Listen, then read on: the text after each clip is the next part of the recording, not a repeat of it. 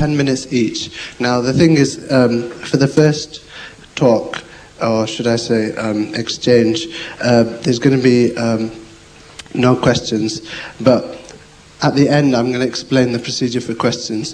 Just to cover it briefly, it's very important uh, to keep order in the room, and that even if you do hear something that you don't like, it's important that you at least listen to the other person's viewpoint, because um, inshallah, that is the way the Prophet used to handle situations, difficult situations. He always listened to the other side, and then he himself replied to that. Now, we're going to have written questions because there's so many people here, and no doubt there's so many questions. Many of them may be similar. So what we'll do is we'll group all the questions. Uh, there's paper all around the room on which you can um, write your questions. Anyway, um, Brother Shabir Ally, you have uh, 10 minutes.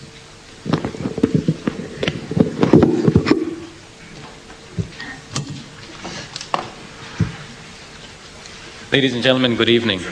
Brothers and sisters in Islam, Assalamu alaikum wa rahmatullahi wa barakatuh.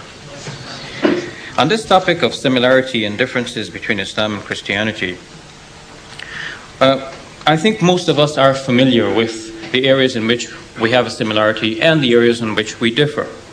And after I begin by praising God, I'd like to give us a framework by which we can understand how to evaluate the reasons for the similarities and the differences, and how perhaps we can look at them from a different angle today. I begin, as I say, with the praise of God. I praise God, the maker of the heavens and the earth, and I send peace and salutations on his last and noble messenger. Now, ladies and gentlemen, we know that there are two main areas of differences between Islam and Christianity. One is the person of Christ. Who exactly was Jesus, and what should we understand concerning him? And two, the concept of sin and atonement. How can we be put right with God? Now, from these two concepts stem a number, number of related concepts as well. When we talk about the concept of Jesus, who exactly was this Christ? The concept of incarnation also comes about. Was he God in human form? And for that matter, the concept of Trinity is also related. Is God one? Is he three? Is he three in one? Or how should we speak of God? Well, let me tackle the first uh, concept first uh, Christ. Who exactly was he? According to Muslim understanding, he was a man, a prophet, a messiah, a, me- a worker of mighty miracles by the leave of God. In Christian understanding, he was a little bit more, a lot more. He was God in some way to be explained. What's the reason for this difference? I think there are primarily two principal reasons. One is that I believe that after Jesus, on whom be peace, was taken up by God, there came on the scene one man, St. Paul. He said that Jesus appeared to him in a vision and gave him a message to preach. St. Paul went straight away into the synagogue, according to Acts chapter 9, verse 20, and proclaimed that Jesus is the Son of God. According to the editors of the New American Bible, the St. Joseph medium sized edition, this is the only place in the Acts of the Apostles where someone uses the title Son of God to make this claim about Jesus. Another related reference is where Paul again was speaking in Acts chapter 13, and he quoted a passage from the Psalms, I would think quoted out of context, again to apply a title Son of God to Jesus. We find in the life of Paul what I would see a kind of deviation from the message of Jesus. That Jesus was taken to be a servant, a messenger of God, the Messiah. And in fact, when we read Acts of the Apostles, I'd like you to understand that the Bible is made up of a number of books. And one of the books is entitled Acts of the Apostles, about what we're speaking now. That book details the, the life and activity of the disciples of Jesus after Jesus had left the scene. And this gives us a snapshot picture of what happened over a 30 year period. Ladies and gentlemen, it is very interesting to note that over this 30 year period, it was not the disciples of Jesus, the original followers of his, who were preaching this doctrine about him, but it was a new man on the scene, St. Paul. And I believe that St. Paul is a reason for the important differences between Islam and Christianity. Now, the original disciples of Jesus were also going about preaching. In fact, Acts of the Apostles tells us in chapter 5, verse 41, that they never stopped going about preaching door to door that Jesus is the Messiah. They were preaching that Jesus is the Messiah, the very thing which Muslims believe today, and they believe that because of the authority of the Quran, which they believe to be the Word of God. But you see, the reason for the difference then is not the Quran, but the reason for the difference is St. Paul teaching a new doctrine. The other principal reason, as I said, has to do with the compilation and editing of the Bible. Once St. Paul had taught, it should be now clear to many students of the Bible that the writings of St. Paul were the earliest documents of the New Testament. Out of the 27 books that make up the New Testament section of the Bible, that whole section that deals with the life and work and teachings concerning Christ, out of that, St. Paul's writings were the earliest of the rest. Scholars believe he was writing around the year 50, whereas the earliest of the four Gospels is the Gospel according to Mark, written around the year 65 to 70 within that period of time. So the Gospel of Mark, the first of the four, came about 15 years after St. Paul had already been teaching his doctrine. And we see evidence in the Gospels and in many other passages of the New Testament. We see evidence that some of the doctrines of St. Paul were being put into the text as though it used to be there prior as if this was something really historically that happened in the life of Jesus. Let me explain. St. Paul did teach that Jesus is the Son of God. We find that many passages in the Gospels bear evidence that later scribes came in and tried to work the title Son of God into the text. Ladies and gentlemen, don't get me wrong. I'm not here to criticize the Bible. But I think, as one of the speakers said here already, we need to look at the faith critically. We need to understand it. Both Muslims and Christians need to understand why they believe what they believe. And more importantly, should they continue to believe what they believe? What is that belief that God wants them to accept for the sake of their salvation? And this is why we're exploring this tonight, and this is why you have come, I hope. So now, to continue, we see evidence that the title Son of God was being put in where it did not belong. For example, in the Gospel according to Mark, chapter 1, verse 1, I notice somebody has got the New International Version Bible up there. If you look into the New International Version Bible, Mark chapter 1, verse 1, it reads the beginning of the Gospel of Jesus Christ, the Son of God. Ladies and gentlemen, right next to the title Son of God, there's a little footnote. If you go down to the bottom to check that footnote, it says that many ancient authorities and manuscripts do not have the title Son of God in that spot. And you know what happened? It was not there before, and someone came later on and put that title in when they were making a copy of the text, and so it reads now in our English translations.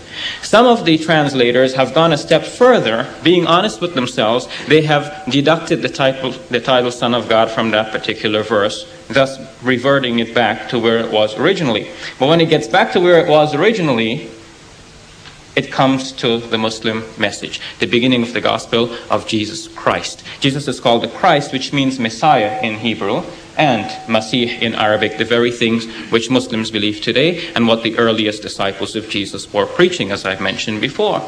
Furthermore, while we're with the New International Version Bible, I notice it's a popular one among you. Look for Acts chapter 8, verse 37. Acts chapter 8, verse 37 in the New International Version Bible. Now, when you look for that verse, ladies and gentlemen, you'll find something interesting. You go to Acts chapter 8, you find verse number 36, you find verse number 38, but 37 is just a number with nothing else. And you wonder what happened to the words that used to be in that text. But you can see those words down at the bottom in the footnote again. What the, revi- what the revisers have done here is that they've taken out the wording from that text because that text was found to be a later addition into the, the Acts of the Apostles. So now it has been moved down to a footnote to show that this is no longer a passage within the Bible. But what did it used to say? It used to bear a confession that Jesus Christ is the Son of God. Again, the revisers have discovered that scribes were later on working into the text the idea that Jesus is the Son of God. So I see these as two principal reasons. One is that St. Paul was teaching a new doctrine. And two, people were busy working into the text of the Bible this new doctrine of St. Paul as though that text had already been there. Now, there are certain things that cannot be revised in, out of the Bible now because the difficulty is inherent. We find that in the original writing of the Gospels themselves, this problem remains. For example, in the Mark chapter 8, Jesus asked his disciples, Who do you say I am? Peter replied, You are the Christ, period. You go to Matthew chapter 16, for the same story, Caesarea Philippi, the same occasion. There the confession is, You are the Christ, Son of the living God all the commentators I've been looking at, they say that this is Matthew's own addition into the text. That will not be revised out of the text because that indeed is Matthew's uh, version of the story. That will remain there. But as long as it remains there, what we need to do is we need to go to the earlier text, to Mark in this case, and we get the Muslim message. Thank you very much. Okay, thank you, Is this? Yeah, thanks. Um, yeah, Jay Smith, you've got 10 minutes. Thanks.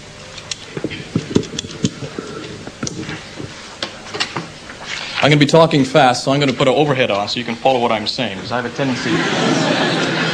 Please don't spend all your time reading it. Listen to what I'm saying as well, but I'll try to follow this as much as I can. It has always been astounding to me that whenever I'm in, in class, and I've been in classes in um, London, in the United States, and in France, as you can tell, I'm from the United States, and I've been in many classes where I've been the only Christian in the class. Certainly, I've been in classes where there have been a lot of secular students. And I find myself, when I get into discussions with other people, that I'm always alone by myself.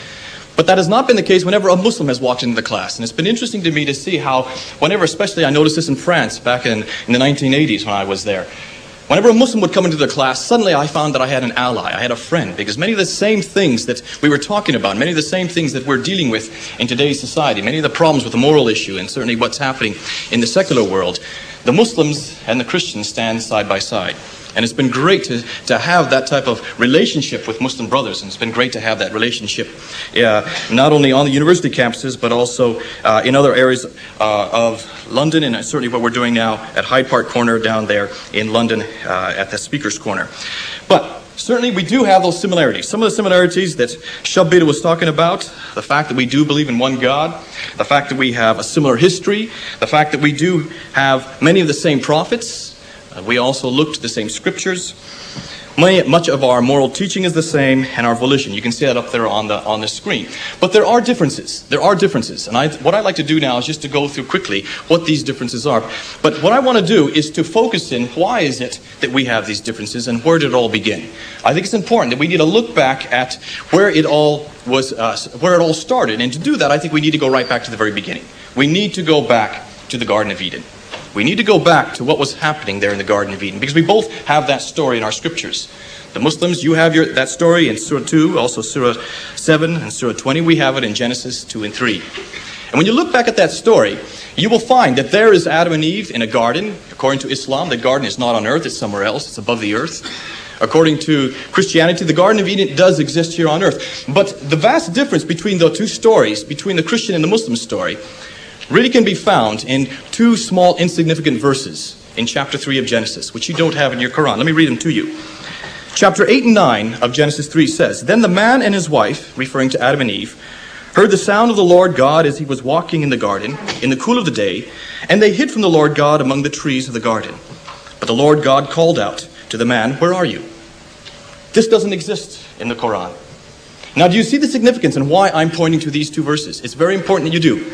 Because from these two, voice, uh, from these two verses, I feel we, you, can, you can put together many of the, the problems that we have with Islam concerning who God is, who we are, where we're heading, where we've come from, and what we're doing right now. If you look at these two verses, what do you know? First of all, you see that there was God walking and talking in the garden. God, the infinite God, the transcendent God. According to Islam, God is transcendent. We also believe that God is transcendent. But according to Islam, God does not walk and talk with his creation. Here is God walking and talking with his creation. He is limiting himself and coming down. Now, from that point, can you see why is it we're talking right past each other? Why is it we don't understand each other? Can you understand now the significance of why I bring that out? It's very important that you do. Here's the infinite God, the omnipotent God, omniscient God, The God who's created the heavens and the stars, who limits himself and comes down to walk and talk with his creation. Calling out to Adam, Where are you? Why did he have to call out to Adam, Where are you? He knew where Adam was. That says something about our God. That says something that I don't see anywhere in Islam. There is God in relationship with his creation. That is unique to the Bible. God in relationship to his, to his creation. Now, from that, you can see why is it that Islam cannot understand why God would come again. If he, but if you were, if you had those two verses, if only you had that part of the story, if only you had that in your Quran, I don't know why it's not there. You can see now why is it that you're still looking, and why is it you do not understand what we're talking about when we're talking about atonement. You do not understand what we're talking about when we're talking about sin. Because there was God in relationship with his creation. There was God walking and talking with Adam, and something had gone wrong. Adam wasn't there. He ought to call out to Adam, Where are you? Now, just go down through these different areas, not because we only have 10 minutes. This could take an hour to try to explain, but let me just zip through them real quickly so you can try to follow me what I'm saying. God, first of all, limits himself. He, he's in relationship with his creation. We give the name to God. We have a name that does not, does not exist in, in, in, in the Arabic language. It doesn't even exist in your Quran, and it's Yahweh. And right through the Old Testament, 6,823 times, you will see this is God's personal name. This is the name that he, gives to, he gave to Moses. When Moses says, Who should I say, say sent me? He said, My name is Yahweh, the Tetragrammaton. In, in, Greek, in the New Testament, we give him the name Abba. Abba is the name that is given, given to him. That means father. Here is God, who is like a father. What does that mean about us? We are like his children. Now, can you understand why is it you don't understand what we're talking about? God, who treats us like children. That relationship that we had with God at the very beginning is the relationship that God had intended from the very beginning, and something has gone wrong. And we're going to talk about that in the next section. Now, do you, not, do you not understand then why is it it's so important that God had to come down and to not only walk and talk with us back there in, in the Garden of Eden, but did so 2,000 years ago. It's not a problem for us. We have no difficulty with the incarnation because we understand God did it back then. He can certainly do it now. He can certainly do it, have done it 2,000 years ago. In fact, we have many instances in our scriptures where God did walk and actually talk. He did so with Abraham before he, before, as, an, as came down in the image of an, of an angel before he went down to destroy Sodom and Gomorrah. He did with Moses there at the burning bush. You've got the same story. That was God who came and talked to Moses. He's done so a number of times. We call them theophanies. That's the name we give to them. And he also did so 2,000 years ago. I've had many Muslims who say, How could God become a man? It's impossible. It's anathema to think of God becoming a man. Folks, it's not difficult because you're limiting God if you don't believe he can become a man. If God can do anything, certainly he can become a man. It's, the question is not how can God become a man? Why did he become a man? That's the real question. Why did he become a man? Very important. The reason God became a man is because something went wrong. Something went wrong in the Garden of Eden, and that says something about us, humanity. According to Islam, humanity, humans are nothing more than creatures. They are nothing more than God's creation. They are like slaves to the master. According to the Bible, humanity is put on a much higher pedestal. We are not just slaves to master, we, we are his children. We are given a special status. We are loved by God. Now, do you understand why, why it's so important that we, need, that we need to look and compare? And you need to go back to the Garden of Eden to understand that. You need to go back to the Garden of Eden. Humanity is made in God's image, therefore we have all the rights. We have all the rights. God has the rights to choose, so do we have the rights to choose. That means we can reject that relationship. Now that's the other side of it. We have the freedom to reject the relationship. Now this is where we're starting to head to, and this is what you see that the significance of what happened back there in the Garden of Eden. We're going to talk about it next time. I won't get into much to that. But also then we need to talk about Revelation. Let's go into that. We're just kind of skipping through these real quickly. I wish I had more time to explain them, to flesh them out. But if you look at the revelation that we have, and you see the revelation of Islam, the revelation of Islam really comes down to God who cannot have any communication with his, really have any relationship with his humans, therefore must use intermediaries. He used prophets, nabis, who he, I'm sorry, um, rasuls. He uses prophets to, to speak through, to get the message out to his people. Now that works fine, and we have the same thing in the Old Testament. You see many rasul, many prophets who were sent down to communicate God's message to them. But if you're going to communicate to, to somebody, what's the best way to do it? Is it to send an emissary? Is it to send an ambassador? Is it to send a prophet? No, it's to come yourself. The best and best way to come and communicate to somebody is to do it yourself, is it not? That's why I'm not here. That's why I'm here. I could have sent a tape recorder. I could have sent an emissary to come up and, and tell you and read my notes. But no, I'm here because I should be here. Otherwise, you're not going to understand and really understand what I'm talking about. And that's what we see God doing, not only back in the Garden of Eden, not only back with Abraham, and not only with Moses, but also 2,000 years ago. But the interesting thing is we don't stop there because not only did God communicate through the prophets, not only did he come 2,000 years ago, revelation personified, but he's continually to reveal himself to us. He's continually in, uh, in relationship with us because of the Holy Spirit, which he gave back after he left and went up. He promised there in John 14 and John 16, revealed in John 1 8. Thank you. Moving on, I'll skip over a few places. Then you can understand then why prayer is so different and so important to us. Prayer for Islam, when I, when I go and I pray with my Muslim brothers, I realize it's the same prayers over and over again, memorized prayers. I don't do this when I talk to my wife. I don't say the same thing over and over again. When I talk to my wife, I'm in relationship with my wife. I want to make sure she understands what's going on. If there's a crisis, I, want to, I need to talk about it. And that's what we do with God. We talk to him and we, and we expect a response in return. That's what God, who's in relationship with his creation, would expect of us. But then let's get back to the last, the very last part, paradise. In Islam, paradise is like a garden. It's a garden with trees and rivers, fruits. I would expect that to be a, a garden, that, they, that would be a paradise in the Arabian context. There are women there, houris. I am not sure who they are. I'm not sure where they've come from, but they're, they're waiting upon the men. But nowhere do I see in the paradise of Islam God, their relationship with his people. Jay, thank you. That's it. We'll continue next time.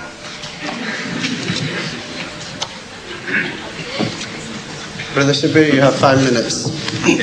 Better run up there. Ladies and gentlemen, let's take the last point first. Is there God in paradise? Well, in Muslim understanding, as we read uh, both in the Quran and in the Hadith, the Muslim believers will have a relationship with God in paradise. They will be able to see their Lord. And this is something I'm sure that uh, Mr. Smith should have been familiar with from his study of Islam. It is something very commonly uh, found in the Hadith of Bukhari and uh, many passages in the Quran. But uh, um, let me take the bottom up first, the last things which were mentioned. Now, prayer for Muslims. We repeat certain things. This is true. But a Muslim also has many optional prayers, and he has the opportunity to raise his hand in supplication to God, and he has the opportunity to speak to God in any circumstance, anywhere. So the Muslim has the fixed ritual prayers, which indeed is repetitive, but the Muslim also has the optional prayer and voluntary supplication, which he can do at any time, and that could be very spontaneous. So I don't see what's wrong with repetition. Uh, talking about speaking to our spouses, ladies and gentlemen, I don't know how many times I must have said to my wife, honey, I love you. and I don't know how many times in the future I will repeat that. But uh, in addition to that, we do have other conversations too. now, in Christianity, God came himself. Ladies and gentlemen, this is the problem that we're dealing with. The idea that God came himself in Christianity, this is the idea that was being put into the Bible. You look again at 1 Timothy chapter 3 verse 16. That verse used to say that God became manifest in the flesh. But the revisers realized that somebody had made a slight addition just by putting one stroke on a letter, had changed it from he became manifest to God became manifest. And what that text now says in your New International Version Bible is that great is the mystery of godliness. He became manifest in the flesh. So that does not say that God became manifest in the flesh anymore. So what we're dealing with here is a new idea that is being foisted into the Bible. The Christian is a child of God, the Muslim is a slave of God. Well, then, why is Moses being called a servant of God in the Bible? Why is Jesus called a servant of God? The very thing that Muslims pride themselves. When a Muslim says, I am Abdullah, I'm a slave of God, the very thing is called of both Moses and Jesus, two of the most principal persons in the Bible. You want to know where to find it? Acts chapter 3, verse 13, in reference to Jesus. He's called a servant of God. Acts chapter 4, verse 25 servant of God. Many places in the Bible, Jesus is called servant of God. If Jesus is a servant of God, I'm happy also to be a servant of God. Now, the fire. God appeared to Moses in the fire, we are told, but there's some difference of opinion concerning this in the Bible itself. Because if you read Acts chapter 7, verse 30, you will see that Stephen, explaining this incident, he said that it was an angel who appeared to Moses, not God. Because as Stephen will continue to explain in the same chapter, chapter 7 of Acts, God is unlimited. God will not be limited in this particular way. He does not dwell in, in physical places. Now, God is Father. God is Father. You see, folks, when you say something about God, you have to watch you don't put unnecessary limitations in, on God.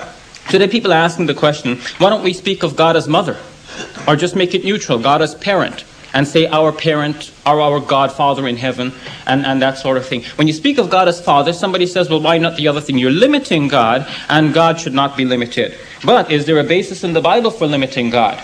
Does God actually come down the way the Bible describes? Ladies and gentlemen, the Bible does in fact describe that. But that points actually to a misunderstanding of the ancient Hebrew writers of the Bible. They conceived of God as some kind of Superman way up in the sky somewhere looking like a human being. This is why in, in Exodus chapter 31 verse 17, it says there that God rested on the seventh day and then he was refreshed. That's what it used to say in the King James Bible, but some people found that difficult to stomach and so they have revised it. How does God rest and become refreshed? But this is how the Israelites perceived of it. What do you understand when you read uh, Exodus chapter 4 verse 24? And it says that Yahweh met Moses on the way and kept looking for a way to kill him. Is that God limiting himself, or is this some conception of God which does not gel with the later teachings which we will hear from Jesus on whom be peace? But I don't have time to go into that now. I thank you very much. Okay. Jay Smith, you've got five minutes.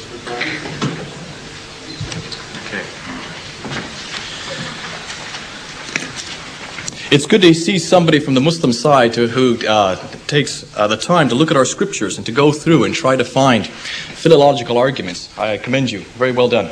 And I was I, I, heard you also when you did the debate on the Trinity, and I was fascinated to see what you've done with it. It's great that we're having this type of discussion because it's important that we are and we do hear what the other side is saying and the impressions that are coming across to them.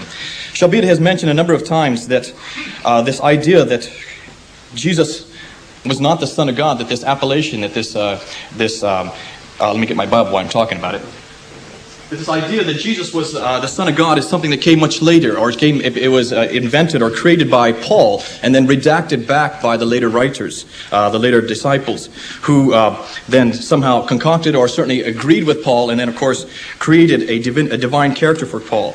Now I'm going to be talking in the next in the next speak about some of the manuscript evidence that we do have for some of the earliest writings. So I won't get into that here, but there are many places where Jesus does confer a, a divinity upon himself, where he talks and he refers to himself as the Son of God, and I'm just going to uh, offer some to you. We, they're not in Paul's writing. These are all in Mark, Matthew, Luke, and John in the Gospels. Let me just share some with you. Let's start with Matthew, since that's the very beginning. Matthew 27. If you have a chance, write these down. Those of you who have pens and papers, you can read it when you get home. Uh, I assume that you have Bibles. If you don't, go and get one. It's well worth reading. Matthew 27, verse 20, uh, 54. When the centurion and those with him who were guarding Jesus saw the earthquake and all that had happened, they were terrified and exclaimed, Surely he was the Son of God. This is an appellation that's given by someone from outside. Matthew, Mark. Look at Mark uh, 422.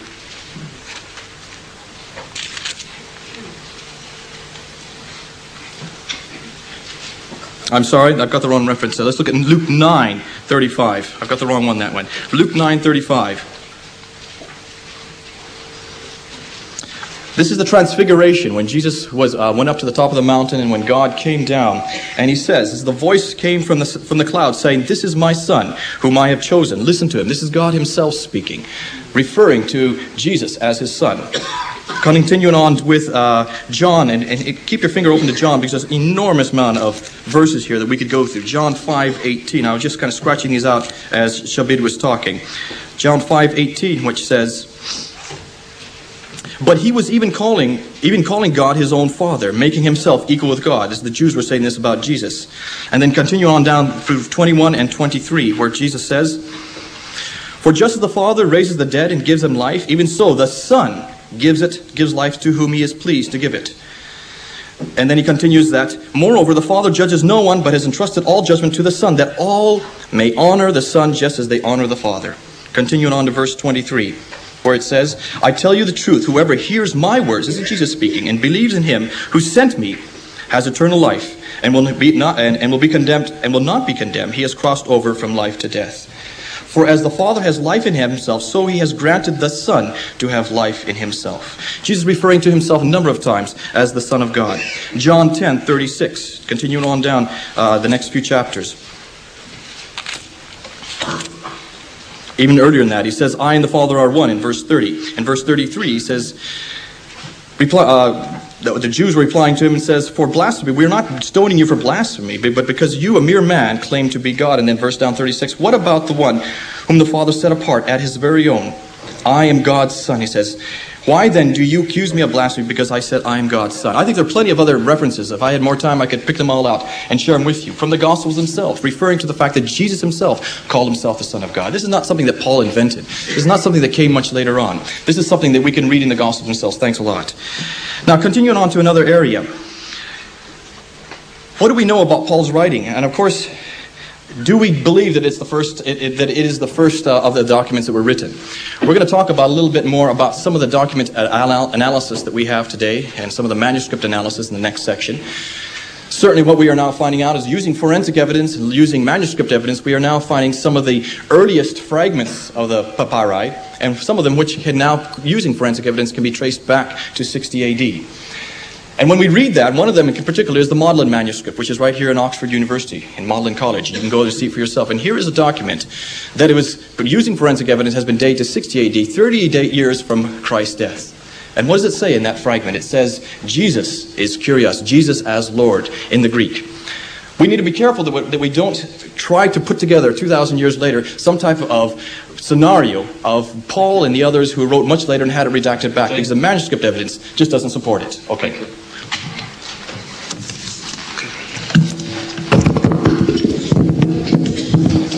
Assalamualaikum. As uh, uh, and hello, right, as promised, um, I'll just explain the uh, questions procedure. There'll be people walking up and down the aisles, right, um, just collecting all the paper, and they'll be distributing more paper. And what you do is you write um, your question on that paper. Um, I mean, what we're going to do is we're just going to have written questions, and uh, if they uh, if we run out of written questions, then you'll have a chance to stand up and ask questions. Um, Okay, right. Um, could we just have some order, please, in the room? Could everyone just sit down in their places? Um, there's still two more talks to go. Okay, thank you, people. Jay Smith is now going to start on the next subject, which is the nature of sin. You've got 10 minutes again, Jay. Thanks. Here we go again. Sin, does it exist? There's an awful lot for there YouTube for you to read. Certainly, if you if you want to get a hold of it, we're going to give you an uh, email. I'm not a uh, network number. It's on a website. All this material is going up on our website, and you can uh, pull it down from there at your own leisure. It'll be written out. Won't be in just note form like this. What about sin? Again, again, in order to understand about sin, we need to go back to the Garden of Eden again. We need to go back to where it began. We need to go back to what was happening back there at the Garden of Eden. Both our scriptures talk about it, therefore, I think it's a great place for us to start. It's a good place because we have that bridge with Muslims. We can go back and see that there's a commonality in Surah 2, Surah 7, and Surah 20, Bible. We see it in Genesis 2 and 3. In the Quran, sin, from, what I, when I, from talking to Muslims and what I understand, is that sin is merely a disobedience. It was a, Adam sinned and he sinned for himself alone. He was forgiven and then he was banished from the uh, from from from uh, the Garden of Eden. Now, the question I always ask is why was he banished if he was forgiven? Something's wrong there. It does not make sense. If Adam was there in the Garden of Eden, he sinned, God forgave him, Allah forgave him, and then he had to be banished from the Garden of Eden. Now, why did he have to leave? What was going on there? Well, I think the, the answer to that is in, the, is in the Genesis account. First of all, you have to understand that there, as we said earlier, I don't believe that there was a relationship. And we know that there was no relationship in the Quranic text of between God and man, between God and Adam there in the Garden of Eden. Thus, there was not much significant loss. Nothing was really significant in the breaking, or you might say in the sin that happened there uh, when they ate the fruit. No corruption. According to many Muslims, it was just it was really a seduction by Satan that caused Adam to do that sin. Now, in the biblical account, the scenario is completely different. Here is God and man, God and Adam in perfect relationship. Man and Adam in relation, perfect relationship with his God and perfect relationship with his wife. They were naked. They didn't even know they're naked. The Quranic text also talks about this. Adam in perfect relationship with, with the surrounding around him, including the animals, including the plants. There was nothing wrong. It was a perfect existence. And then they ate of that fruit. Suddenly, an imperfection came into the whole atmosphere. They knew that they, something had gone wrong because they suddenly they had to go look for leaves to put on their bodies. They realized they were naked. They knew something was wrong because when God was walking and talking, they hid from him behind the tree. You have that account, so do we have that account. But it does not make sense in the Quranic account. Why did they hide? Certainly they felt guilty. And God called out to them, Where are you? Enormous, enormous significance in that. Now, why is that? Well, because God is pure and holy. We see that in Psalms 77. We see that also in Psalm 99. He cannot live with sin in his presence. We see that in Habakkuk 1.13. God cannot have that impurity in his presence. He cannot have sin before him. Therefore, there are consequences to sin. There are enormous consequences, and not something that can be just lightly said, you're forgiven and that's it. There are enormous consequences, and the consequences that we see are something that God has stipulated, and that it is God who stipulated that he cannot have sin in his presence. Therefore, by his stipulation, the, the punishment for sin is death, complete death. For any sin is death. We see that in Ezekiel 18:20 and also Romans 6:23. Thus they who knew who were now in sin had to be removed from him who knew no sin. They lost life, health, vitality, peace, joy, safety, and happiness. And it just didn't just affect them, it affected all of humanity. You see that if you read through the chapter 3 of, of Genesis, you'll see that it was from that time that women started bearing children with, and having pain in their childbirth. It was from that time that we, we see that weeds came about, thorns came into the earth. It was at that time that death was introduced into life. Atonement needed to make. I'm sorry. Atonement needed to be made. Atonement means making amends. We see this in Leviticus 4. In fact, 79 times we find atonement throughout the Old Testament, once in the New Testament. Sin separates, atonement had to be given. In other words, there had to be a buying back, there had to be a return back to that former presence. Now, man couldn't do that because in order to atone, he would have to die. Uh, five minutes? Thank you. That's a little bit better. I was getting a little, I was getting a little antsy there when he said 30 seconds. In order for him to get back in relation to God, he would have to die because that is what the punishment for sin is. The punishment for sin, according to God's parameters, is death. And right through the Old Testament, if you look, you will see that over and over again, you will see God who has demanded a sacrifice, a shedding of blood. We see it right through the Levitical laws. We can start with Abraham. What did God demand of Abraham? He demanded a sacrifice, a blood sacrifice. Couldn't be just any sacrifice. It had to be a shedding of blood in order to, for man to be resolved of that sin. But that wasn't the perfect sacrifice. If you look and you understand, you ask the Jews, what kind of sacrifice were they to get? They were to get an unblemished lamb. You Muslims have the same law. You must look for an unblemished lamb. Why an unblemished lamb? Because that's for pointing forward, that's prefiguring the perfect lamb that was going to come, the perfect sacrifice that was going to come in Jesus Christ on the cross. It's already happened, folk. It hap- eh, folks. It happened 2,000 years ago. That's why we no longer sacrifice lambs. That's why we don't have to participate in Eid. We've already had that sacrifice once and for all. And that sacrifice that we see in Jesus Christ on the cross, and it's right through the New Testament, it's right there in the Gospels, it's there in Paul's writing. When you look at the atonement there, that Jesus Christ came to do, God Himself had to come and take upon him His own shoulders our sin. We could not do it because we would deserve death, we would all die. But if God came to take on that price, if God came Himself to take on that sin on His shoulders, only then would the punishment be paid. Now, both, we and Muslims, both of us agree that justice needs to be done. When there is a sin, there has to be justice. Justice is getting what we deserve. We deserve to die. We all deserve to die. We see that right through the scriptures. Mercy is not getting what we deserve. Now, this Islam offers. They offer, offer mercy, mercy, but that is unjust because the sin has not been paid for. Grace is getting what we don't deserve. God, by His grace, paid that price. This we don't deserve. That's why the enormity of the atonement is, is so significant for us today as Christians. What we see happen 2,000 years ago is enormously significant because God, that shows the ultimate, uh, the ultimate sacrifice. God Himself coming and paying that price for us. Now, Muslims say that God should not die. It shows the inadequacy of God, something went wrong with His plan. But I say, wait a minute. There's nothing that's wrong with God's plan because God gave us the right to, to, to sin. God gave us the possibility to sin because we are made in His image. The fact that we did sin and the fact that we can't pay for the, fa- for the, for the sin that was there means that we've got to blame ourselves on God, say, God, help us here. We can't do it ourselves. And this is what Christ did. God did in the form of, uh, of Jesus Christ 2,000 years ago. The cross fulfills the price of sin, death, providing atonement for those, those who acknowledge it, those who accept what happened back then. Let me just read the conclusion. For Islam, sin or wrongdoing stands at the periphery of its teaching. Islam means submission to the will of Allah. The problem of past sin is resolved in present obedience to Allah's will, nothing more.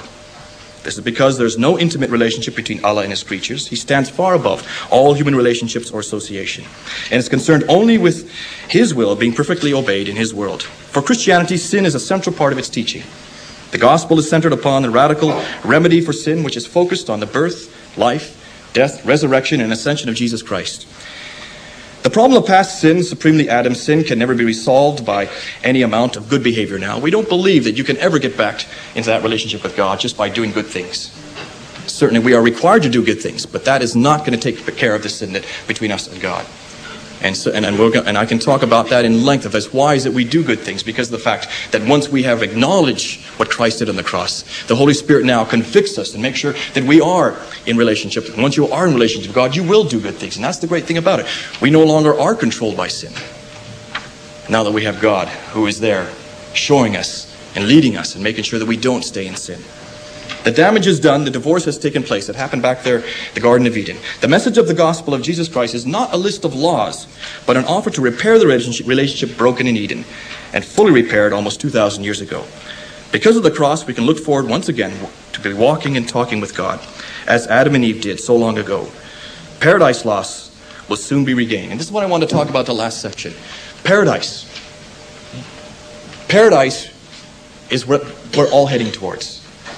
That which God had intended back in Eden with Adam and Eve and got broken and be and was and, uh, and you might say got impaired because of that sin of eating the fruit. That relationship that was lost back then has been corrected on the cross 2,000 years ago. But the great thing, folks, is we can look forward to being back in the new Eden, you might say, the new Jerusalem, be back walking and talking with God there in paradise. That's what we're all looking forward. I'm not looking forward for a garden with lots of women to take care of me. What I'm looking forward is to be walking, and I'm sorry, I shouldn't say that glibly, but what I'm looking forward to is to be walking and talking with God again, just like it was back there in Eden. That which was lost back in Eden has finally been repaired, and I know that that's what I'm looking forward. Now, that I don't see in Islam. I don't know where you're heading towards, but it's not back to relationship with God again. And that's what I crave for you all. You've got to look at the cross and realize that only because of what Jesus did in the cross do you have a chance for the future. Okay, thank you. Thank you. Brother Shabir, you have 10 minutes.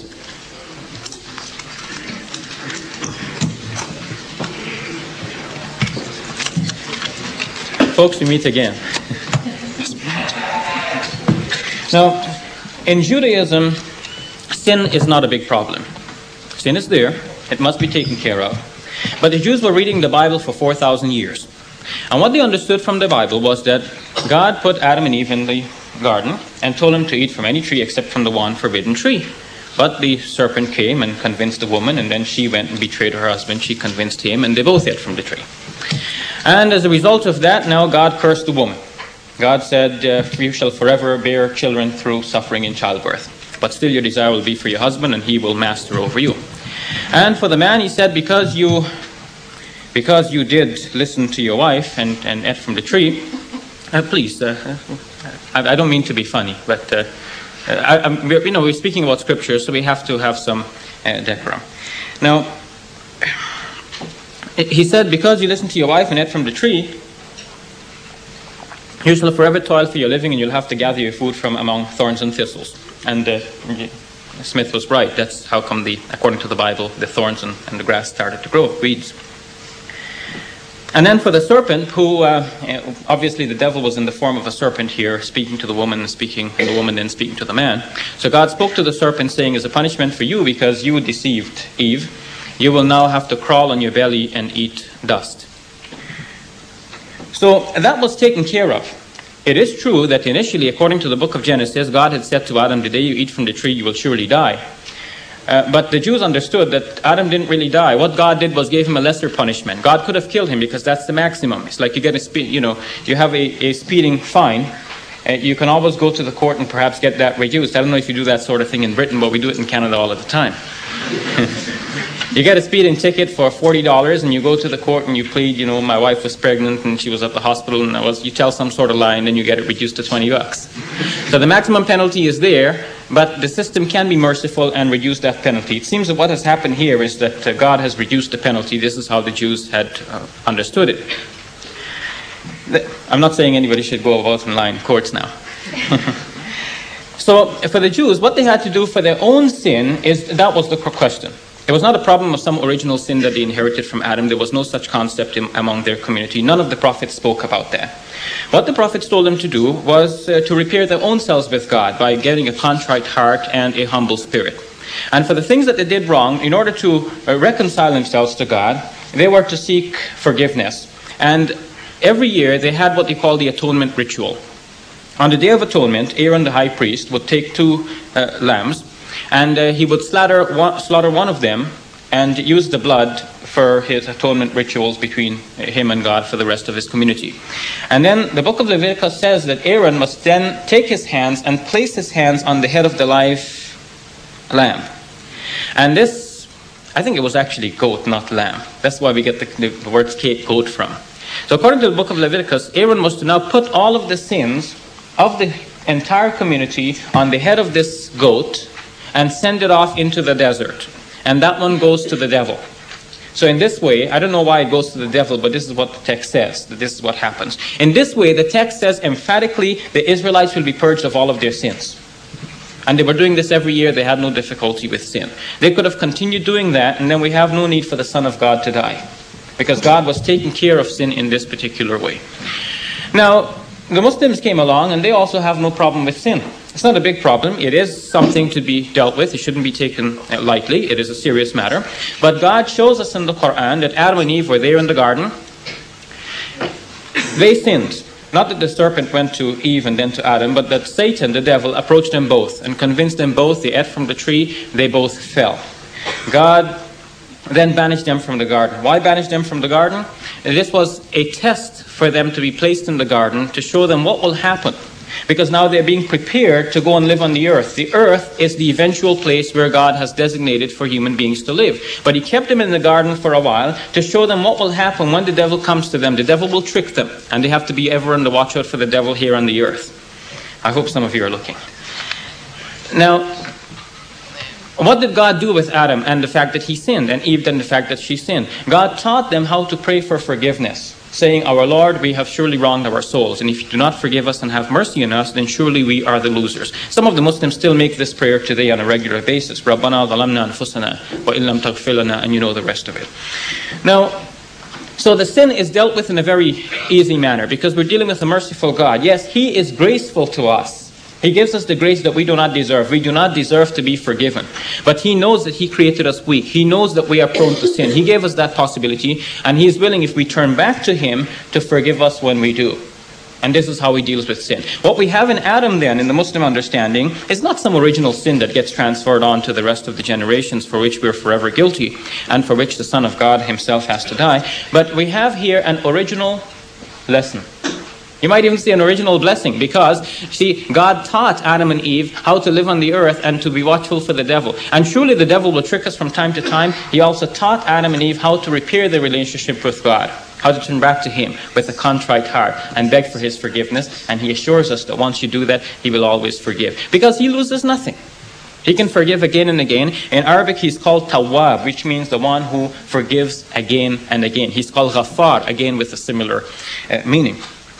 But in Christianity, it has become a problem. Why has it become a problem? Again, I don't know if I should blame St. Paul. Maybe, you know, this might be coming down too hard on the guy. But unfortunately, again, you see, often when the concept of sin is explained, it, reference will be made to the book of Romans. Who wrote the book of Romans? St. Paul. Reference will be made to the Corinthians, 1st and 2nd Corinthians. Who wrote that? St. Paul. It's often with reference to the writings of St. Paul that the sin uh, concept can be explained in Christianity because he reinterpreted Genesis. He said that because the man sinned, he must die, and somebody has got to die. And because of him, sin entered the world, death entered the world. And through another man, Jesus, now the process will be re- reversed. What St. Paul did actually was he worked backwards from the cross. He took the cross as something to for granted, that Jesus died on the cross. Then he had to explain to the Jews why Jesus had to die on the cross. The Jews expected a Messiah. Their scriptures told them that the Messiah would be a victorious being, a victorious person. They could not understand that this Messiah would be crucified on the cross. And so when they heard that Jesus was crucified, they said, no, he can't be the Messiah who was foretold in the Old Testament.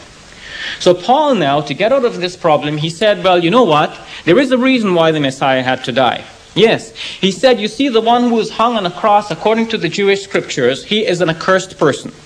Here, Paul misunderstood because what the Jews uh, were reading in the scriptures is that the one who is put on the cross because he committed a crime worthy of death, he is accursed. He's the cursed person in the eyes of God. But can you tell me, ladies and gentlemen, that the innocent person who was hanged for no sin of his own that he will be a curse before God. But this is what Paul said to the people that Jesus had become a curse for us. Your scripture said, you know, the one on the cross is a curse. Yes, Jesus became the curse for us. Well, how did that happen?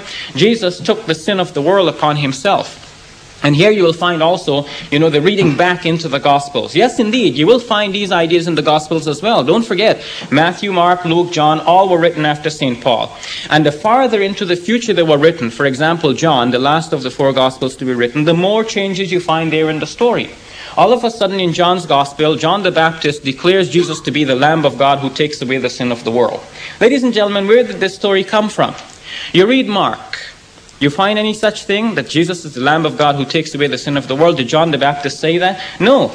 In Matthew, John the Baptist could not even know that Jesus had this identity because in Matthew chapter 11, uh, John the Baptist had sent his disciples to find out if Jesus really is the one who is to come or shall we wait for another. He did not know Jesus' true identity.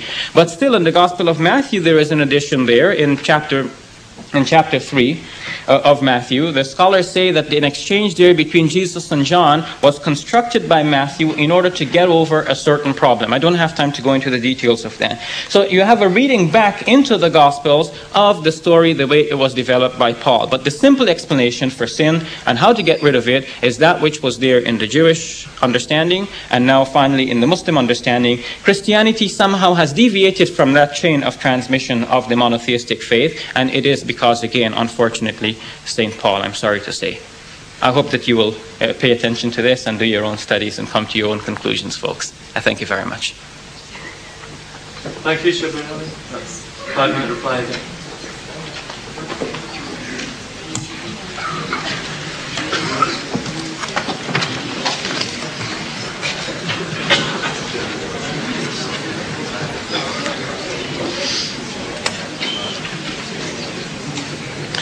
Shabir was saying that, um, and, he, and he's correct, that uh, they're in the, um, the old, the Jewish view.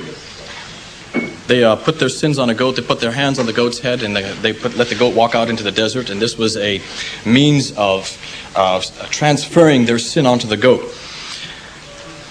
But what he didn't realize, and I think what he, what he needs to be careful of, is that prefigured exactly what was to happen. That also showed that there needed to be something, there needed to be an action, there needed to be something, a sacrifice that that, subst- that substituted the sin of the person.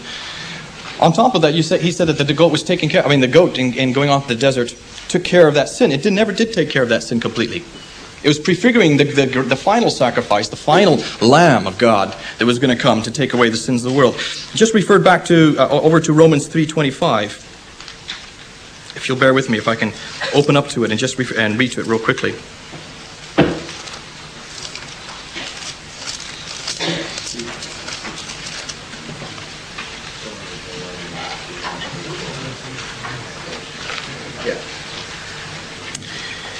God presented him as a sacrifice of atonement through faith in his blood. He did this to demonstrate his justice because in his forbearance he had left the sins committed beforehand unpunished.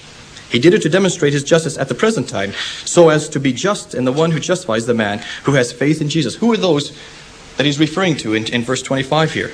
The sins committed beforehand unpunished. Of course, he's referring to those, the Jews as well, those who came long before the cross.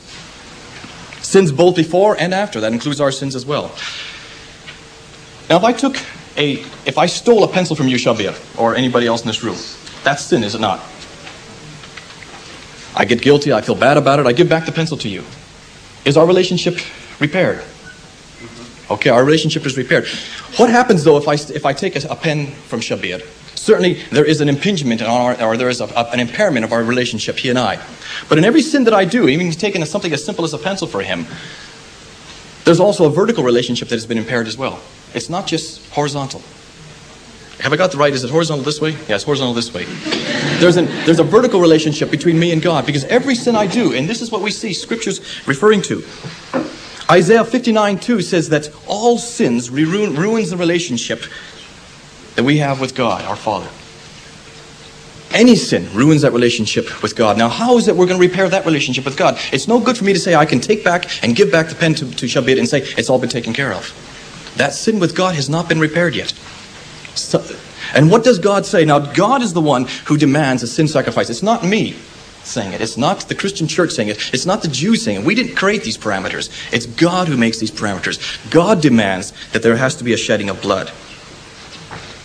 It says that in, in, in uh, uh, Romans 6 20, 23. It says that also in Hebrews 9 22. For without a shedding of blood, there can be no remission of sin. There has to be a sacrifice. There has to be a repairing of that sacrifice, of that relationship that was impaired in our sinning. And that we only see on Jesus, uh, Jesus doing 2,000 years ago on the cross. And I think the reason why uh, uh, Muslims have a difficulty with, all, with, with this theology of atonement and why they have a difficulty and they want to place it on Paul and they want to say that Paul wrote before uh, Matthew, Mark, Luke, and John. It's amazing to me how we suddenly, in the, in the, year 2000, know exactly when Paul wrote. And we exactly know when Matthew, Mark, Luke, and John wrote. Certainly we know that Matthew wrote to the Jewish uh, to the people who are the Jewish people. And so therefore we know that he wrote we're using a lot of terminology that was, that was uh, garnered for the Jewish congregation. And we know that Luke wrote for the more secular crowd. And I think what, what we're doing is we're trying to impose upon that somehow that he might have got this from Paul. When we know that all the, that as they were writing, Paul and also Matthew, Mark, and Luke, that they were writing as a community because they were the eyewitnesses to these events. They were the ones who heard what Jesus said. They were the ones who knew. Paul wasn't there. He was not an eyewitness to these events. He did not hear the sayings of Jesus. If anything, he got it from them. Luke as well. What does Luke say in the very first chapter? He says, Luke in first, uh, very first verse, he said, Listen, talking to disciples, everything that I have said, I'm not an eyewitness, you are. Check out what I'm saying. He challenges them to say, to say, to, to, to, to come back on him if he got it wrong. He's talking to the disciples. They were the ones who were listening to Jesus, everything he had. He said, Paul came much, much later. To say that Paul created this and the disciples gave up their lives, every one of them were martyred for what they said, except for one, except for John. They all were martyred for something that they didn't believe in, something that didn't happen, something that was fictitious, that's made up a man that was had been persecuting them at one time and now suddenly joined their group later on. Oh boy. Okay, well I gotta keep stuff there.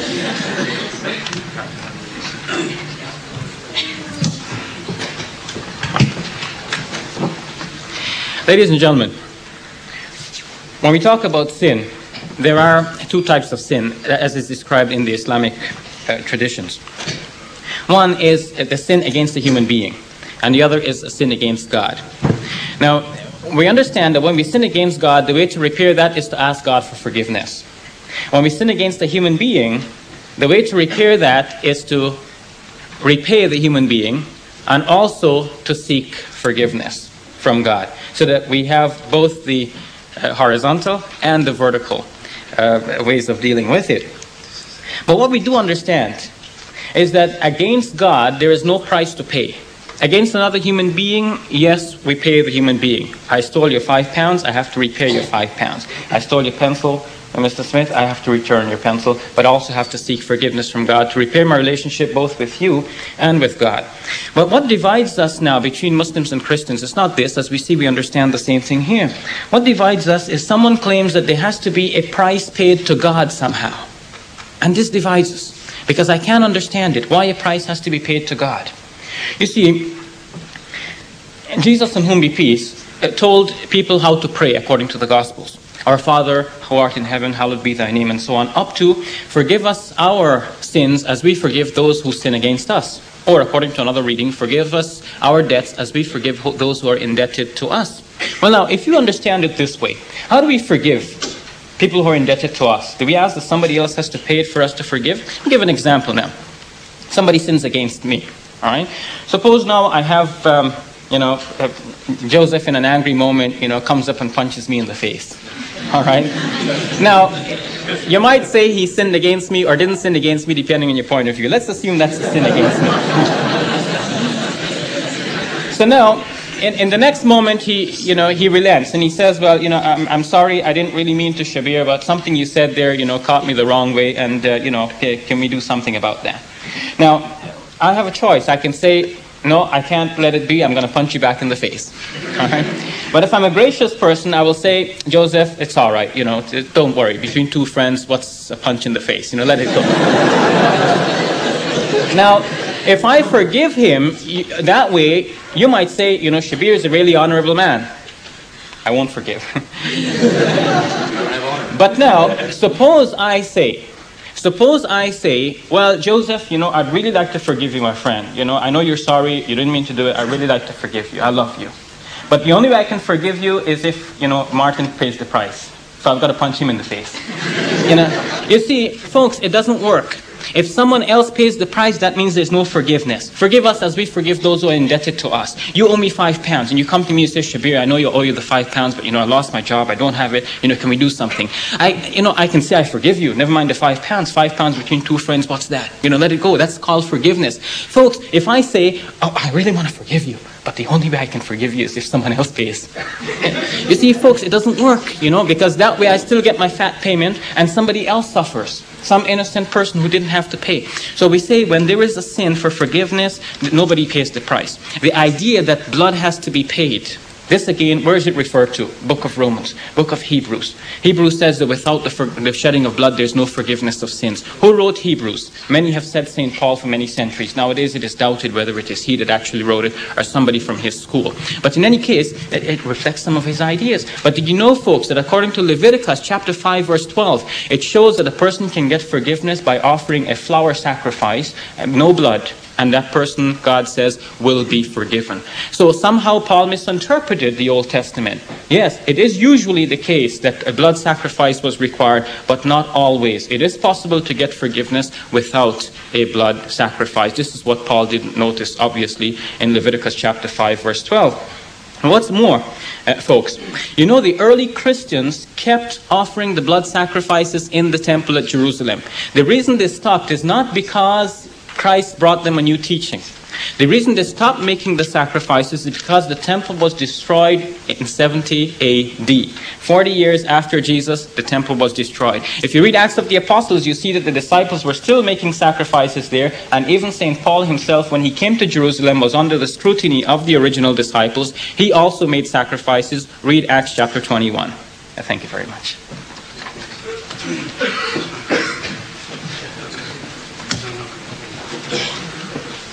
Yeah. All right, now we come into the true heart of the debate. Namely, what is it about Christianity which separates it from Islam, which makes it more relevant to you and me here on the university campus, right here and now? In other words, if I'm to accept Christianity, how do I know it is true? If you're to accept Islam, how do I know it, it's true? It seems that depending on my background or cultural taste, I will either accept or reject the claims of us for the authenticity of either Islam or Christianity. Those of you who are Muslim will not accept my conclusions no matter how well I present them. And the same can be said of the Christians toward Mr. Ally's presentation. We have all come with our minds made up, so how then can we really know which is true and relevant for the student world today? What criteria is there for ascertaining which religion is true? Is it merely a matter of subjective faith claims, or is there a means by which we can really know? I believe there is. Because I've seen many people come to Christ, myself included, by means of a rational and critical assessment of its validity. Religion, by its very nature, primarily posits doctrines and faith claims which cannot be tested. But religious literature, the Quran and the Bible, for instance, were not written and compiled in a vacuum, but were created at a specific time and in a specific locale. The stories they recount touch on peoples, places, and events which can be verified by scientific analysis to test for historical accuracy. Once they have proven to be historically accurate, then their claims can begin to be held credible as well. It is primarily by this means of historical verification that we can hope to influence not only the skeptical, non believing secular world, but give credence to our claim that Christianity or Islam is thus relevant to the student world today. A world which is dominated by secular thinking, critical of anything which speaks of God or miracles or even a notion of creation or the final days. I believe that the Bible is historically accurate on those points where it touches history. I can be critically anal- it can be critically analyzed and proven credible where it touches people's places and events. Therefore, to begin my talk, let me start at that point and assess its historical qualifications. Here we go again. Just look at those real quickly. You can see there's not enough in 10 minutes to get all through all this, but let me try to hammer it out a few uh, significant areas. One of the criticisms that has been given of the Bible is that our manuscripts are not authentic because they are too old. They are too late, written too much after the originals. And also, since they're so late, we, do, we cannot therefore know whether or not that which we have in the manuscripts, that which we have in the copies, uh, are, can be um, relevant to the originals which were written by the, the gospel writers and Paul and others, certainly the, with the Old Testament.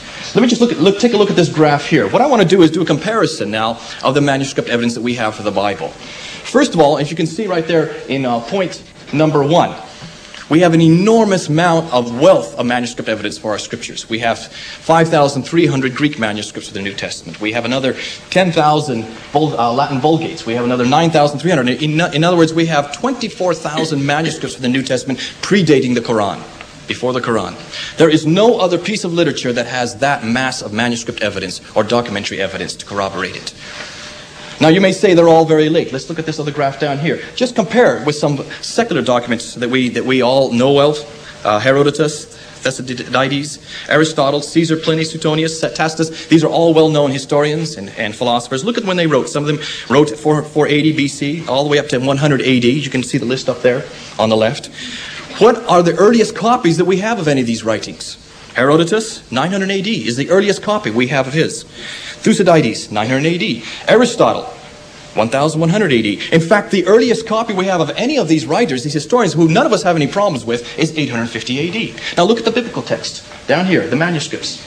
They were all written within, the first century. I disagree with, with Shabir. I don't believe that they were written as late as 80 and 90. And I'll, that's a whole other debate we can get into. And how is it we can date these manuscripts? A lot of it can be done by using historical analysis. But look at when they were written in the first century, and look at when the copies that we have 130 AD, 120, uh, 200, up to 400 AD, with the uh, Codex Alexandrinus and the Sinaiticus right here in the British Museum. Now, folks, these are from 400 from 100 to 400 years after the original dates. The earliest that we can find for, uh, uh, for one of the secular documents is 750 years to 1,300 years after the originals. Why is it we having such a problem with the biblical manuscripts? They are by far the old, oldest and they are the closest to the events. That's a real problem because people do have not looking at the statistics. They're not looking at the dates. But there's other areas that we can look at. We can look at the hostile witnesses, the men that were writing at that time to corroborate what was happening. Thallus, who's a Greek historian, he wrote in 52 AD. He talks about the crucifixion. He talks about the fact that it went uh, dark at night, uh, echoing what we see in the scriptures. Tacitus, a Roman historian, writing in 80, 80, 80 to 84 AD, he talks about the death of Jesus. He talks about th- that it happened during the reign of Tiberius, and he talks about Pontius Pilate. Now, these are things that we can read about in Luke 3 1 and uh, verse 1. Josephus, the Hebrew historian, in, in Rome, writing in 90 95 AD. He talks about the death of Jesus, the death of James, the death of John the Baptist. These were hostile historians. They did not care for the Christians. They would not have said these things to help the Christians out, but yet they corroborate what we see in Scripture. Going on down to Suetonius and Pliny the Younger. Find it interesting that Pliny the Younger, a Roman uh, author and administrator in 112 AD, not only talked about the Christian community there, but he also referred to them that they were singing hymns as if to a god, corroborating what we see in Scripture. But we not only have that because Christianity from the very beginning was a missionary religion, right from the very beginning. We knew, the, the, the, early church fathers knew that it was to be taken, this message was to be taken out to the whole world. And they translated the scriptures, those letters and those gospels into many different languages. In fact, we have eight, uh, the documentation from eight different languages. I've got them listed up there. 15,000 different translations in eight different languages. Latin, Syriac, Coptic, Armenian, Gothic, Georgian, Ethiopic, Nubian. If we were to corrupt these scriptures, we'd have to go back through all those different translations and, and change every one of them. Can you see the enormity of the type of task you're asking for? We also have another 2,135 lectionaries which speak and, and refer to the scriptures and, and, quote from the scriptures from, before, from the 6th century. But probably the most corroborative evidence we have is are the early church fathers. These early church fathers, they took and they quoted from the scriptures, right, left, and center. Look at their writings. What they have done is they have found 86,000 of their quotes, but 32,000 of them from three, before 300 AD. In fact, what we can do is we can throw away all the 24,000 New Testament manuscripts. We can throw them all away and just look at the early church fathers and we can reproduce the entire New Testament just from their letters except for 11 verses. Folks, if that's not corroboration, I don't know what is. And I hear Muslims all the time saying that we don't have the, the proof, we don't have the manuscript evidence. Look, folks, there it is right up there. There's all kinds of evidence for our New Testament. There is no other book that has this type of evidence. But that's not all. Let's look what the archaeologists are saying. I can't quote them because I don't have time here. If you want to see the paper, the enormous, just the support that the archaeologists are giving to us. But let's look at, at some of the things that they have pulled out. Let me just throw this through you real quickly. Many people have said that there is not any support for the patriarchal times. We have enormous amount of support for the patriarchal times now because we've come across four different genre of tablets. There's the uh, Amarna tablets, which are in Egypt, the Ebla tablets, which come from Syria. 17,000 tablets that have now been uncovered that corroborate what we read about in the Genesis account. Even to the extent that there's one tablet that has been found in Syria. These are, these are secular tablets. These are not religious tablets. These are secular tablets that talks about the names of the five cities, Sodom, Gomorrah, Admah, Zeboim, and Zoar, the five cities that, that Abraham went and defeated to help Lot in the order that we see them in Genesis 14.8.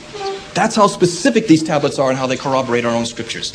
You can go right down. The Ebla tablets also talk about tell, uh, talk about the Deuteronomic law code that we see there in Deuteronomy 22. The Amarna tablets from Egypt, they mention the name Hebrew, Ebru, the Abru. They, it's the first place where we see the name Abraham there.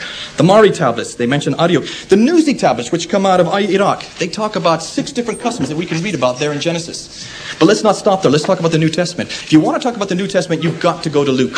Why? Because Luke was a historian. If you read the book of Luke, if you read the book of Acts, he talks about places, names, and events. It's brilliant to see that. And I think the Lord gave us a man like Luke, knowing that we were going to have this argument, knowing we are going to have this discussion in the 20th century, knowing that we are going to have to corroborate our scriptures historically, because here he's got it. And the great thing about Luke is everything he has said has now, not everything, I'm sorry, be careful, I'm getting a little too excited, but the things that he talks about, the names and places and events, are now being corroborated by the historical, the historical evidence is coming up. Many people thought that he was wrong And, uh, talking about Gallio as a proconsul. Why? Because Pliny never talked about Gallio as a proconsul until we came across the Adelphi inscription, which is dated to 52 AD. And what does it say? It says Gallio was a proconsul. There he was, right there in black and white, and he was a proconsul for one year in one year alone. Now, what does that tell us about the book of Acts? Because that's what we read in, in Acts 18.12, that Gallio was the proconsul. That means whoever wrote the book of Acts, we know it was Luke, but whoever wrote the books of Acts had to be an eyewitness to the account and not somebody like Pliny who wrote, uh, wrote 50 to, to, to 60 years later. It had to be somebody who was right there, an eyewitness to the account. And we now know that it was 52 years AD. We even know when it was written. Now, if that's not corroboration, I don't know. And I don't know what you're going to do with that, Shelbita, because that throws out your whole possibility of Paul writing so much later, or so much earlier, excuse me. There's just one evidence after another. But some of the most important evidence I think I'd like to share with you today is the fact that it has an enormous amount of circulation. The fact that the Bible has now been translated into over a thousand languages. And it's being translated, a new translation is coming out every two weeks. A new one is beginning every 10 days. In 60 years, the entire world, the entire language that we now, known language that we have today, will have the Bible in, in their own languages. In another 60 years. Right now, 93% of the world can, can read the Bible in their own native tongue. But look at its life changing power. Look what it does. We now have about 138,000 Protestant missionaries around the world. 3,500 new churches are being built every year. I mean, sorry, every week. Yet, even more impressive figure, which reveals, as a result of their efforts, 70,000 people receive Christ daily because of the truth that they see in the scriptures. Okay. That's it.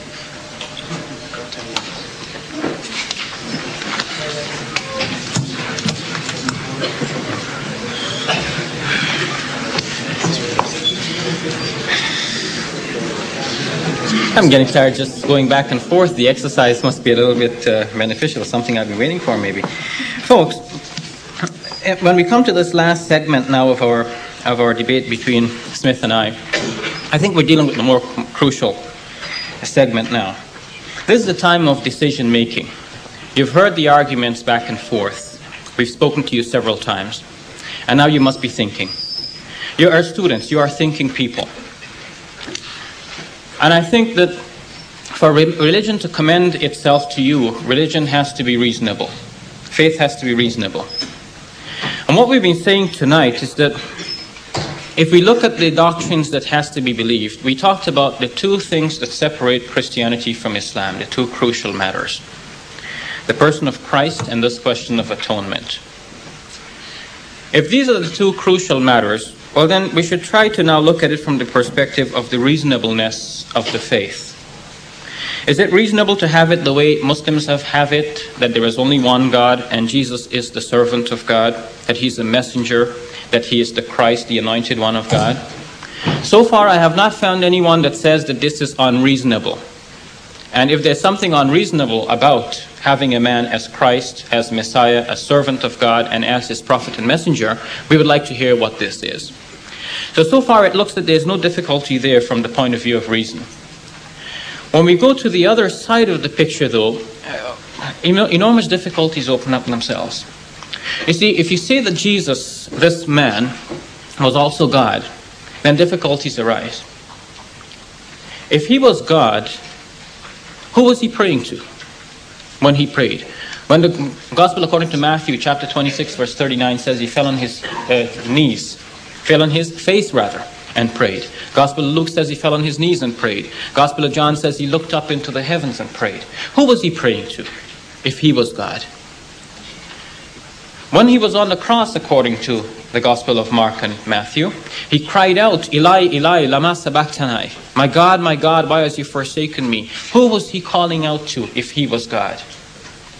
Then, if, if, he has, if there's another one who is God and he is also God, do you now have two gods? There's not new questions. These are the questions that raged in debates throughout the history of Christianity. Now, do you have two gods or are they somehow one God? And if they're one God, what is the relationship between them and how come they're one God? Are they co equal? Many people will say yes, they are co equal. But according to the Gospel of John, chapter 14, verse 28, he said, The Father is greater than I. So how do you work this into it? So now if the Father is greater than He, they can't be co-equal. And if they're not co-equal, then you have a greater God and a lesser God. This was the position of Arius back in the 4th century. So these are the difficulties you have. Now if you say that Jesus is God, you know, the Father is God, the Son is God, the Holy Spirit is God. Remember how we said that people went about fixing the Bible to make sure these beliefs get into there? Read first John chapter 5 verse 7. In the New International Version, that used to say at one time that there are three that bear record in heaven the Father, the Word, and the Holy Ghost, and these three are one. You know, folks, if you look for 1 John chapter 5, verse 7, you'll find the verse there, but you won't find those words. You'll find that there are three that bear record on, on earth, yes, the water, the spirit, and the blood. But where is the three that bear record in heaven? That's not an original part of the Bible. You see what happens? People went into the Bible and fixed something there, and as older manuscripts of the Bible are discovered, these mistakes get uncovered and they have to be corrected. And I trust that as more and more discoveries will be made in the future, more things will be uncovered and more changes will be required in the Bible. Folks, the other question is the question of Jesus' own person. If he was God, what was the relationship between God and Jesus in the person of this man that we see? What about the humanity in him? The church has long held that Christ was completely human in every respect apart from sin. In every respect apart from sin. And so, a, a clergyman from the Anglican Church who lives in my city in Toronto, his name is Tom Harper, he raises an interesting question. He says we should think about this carefully.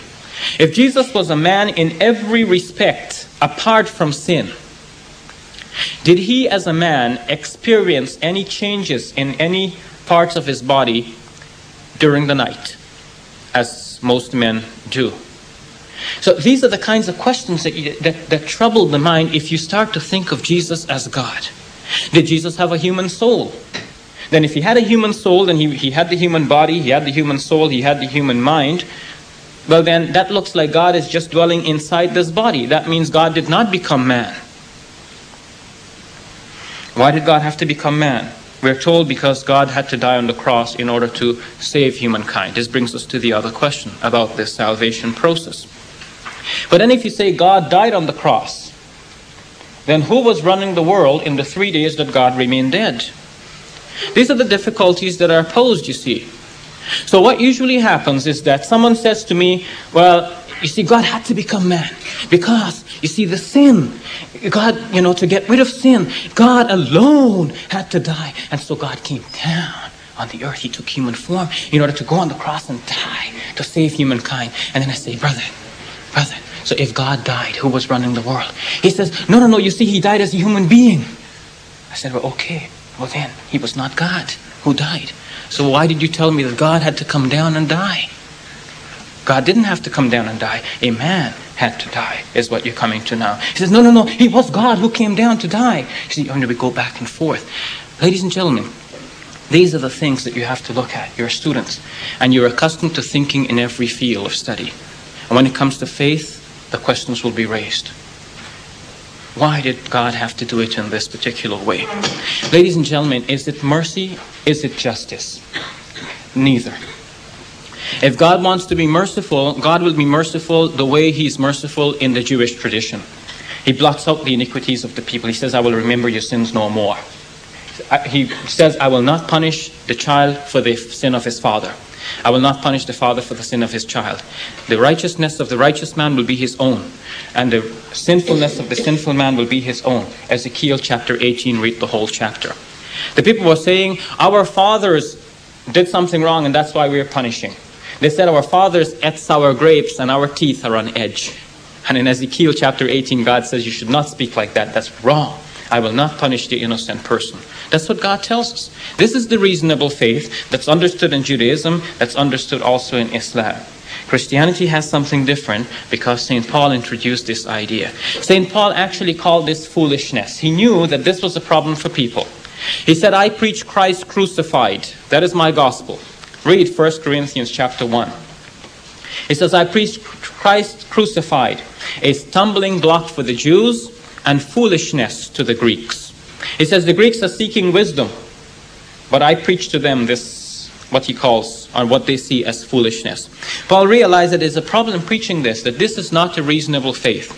Folks, now we have this difficulty that we can reconstruct but there's only so much we can do. When we go back into the New Testament writings, we see often that the, the writings are heading in a certain direction in order to promote that faith which St. Paul has built.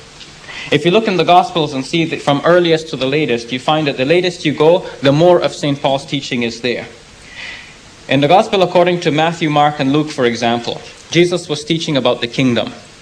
In Matthew, kingdom is mentioned 47 times, Mark 18, Luke 37, John only 5. Why this reduction in the teaching about the kingdom?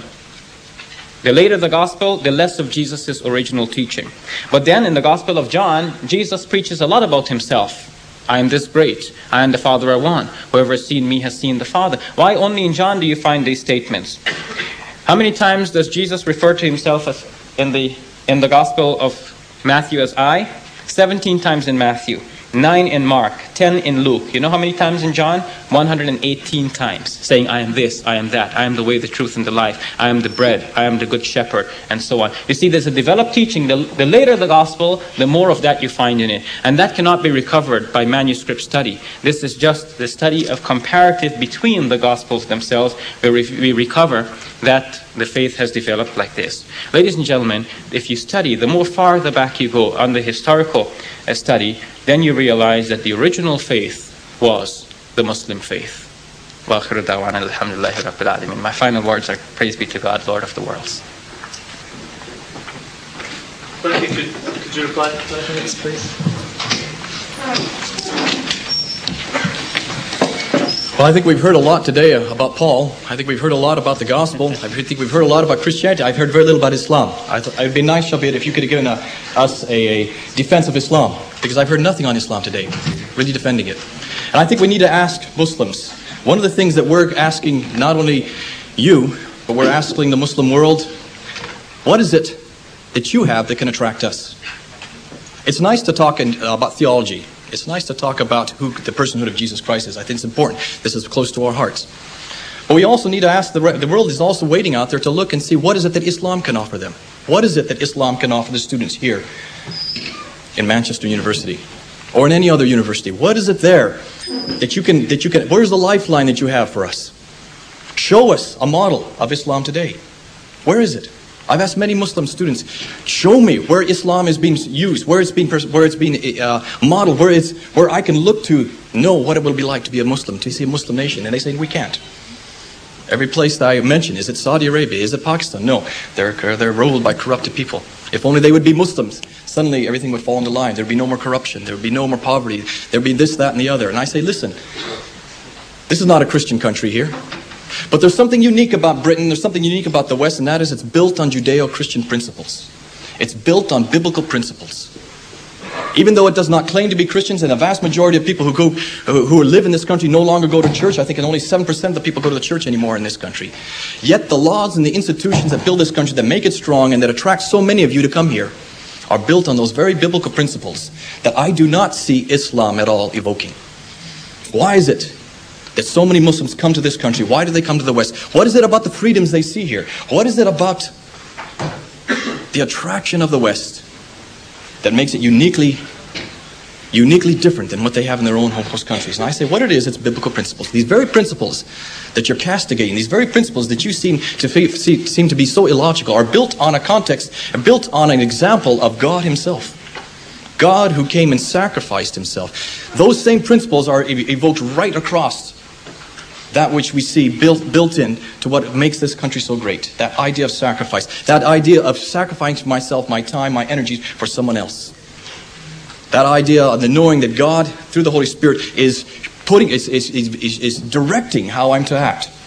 Now, it's difficult to put that down in black and white. It's difficult to find anything, any area that we can look to, to to solidify that. And one of the things that we've done in London is to look at the United Nations Declaration of Human Rights. This is probably the most universal document that any one of us can get a hold of. Probably the most universal document that any of us can look at. Look at the, Uni- the United Nations Declaration of Human Rights and look at all the articles and compare them and see why is it that they're so attractive? Why is it that 126 nations have signed up to this declaration? You will find that almost all of them have biblical principles right through it. But there's an enormous amount of articles in there that Islam cannot adhere to. Look at Article 4 on slavery. There has never been an abolition movement in Islam that I know of. The abolition movements that we've had against slavery have been uniquely Christian. Look at Article number 5. No cruel or degrading punishment is permitted. Yet you look at the hudud punishments that you're asking for that have been trying to be enacted in Islamic countries, the cutting off of hands, the stoning or the, or the flogging of, of, of for adultery. Article 7, 8, and 10, equality. Yet, if you look at the Muslim law, you will see that there is not equality for non Muslims in a Muslim context. Look at the dhimmi laws. Look at the Karaj text. It is not equal. Article 16, equality for marriage and divorce, but there is no equality for marriage and divorce in Islam. Not for the women. Article 18, freedom of thought, freedom, freedom to change one's religion. This is anathema in Islam. It doesn't exist. You can change and become a Muslim, but you cannot leave Islam. Article 19, freedom of opinion and expression. Okay. The Bible gives has no censorship in it. It does not it does not call at all for censorship. Yet you go to any Muslim country today and you cannot criticize the Prophet, you cannot criticize the book, the Quran. Look what's happening in Pakistan if you need some examples. Article 21, equal access. Will equal access be given to people, certainly in an Islamic state? If, if, if, if this became an Islamic state, would I, as a Christian, be able to participate in government? Will I have authority? Would I, as a Christian, be able to be a caliph? No. Democracy doesn't work. And this is what we're asking for. Why and can you, how is it that Islam is relevant for me as a student? How can it be relevant when I see so much of the examples of Islam they tear at my skin. They tear at what I see that God had instituted for his people, not only back there in the Garden of Eden, but what we're going to be heading to in the next life. That should be evoked and that should be exemplified right here on earth. That's what I leave with you, Shabir. It'd be great to know if you have an answer for that.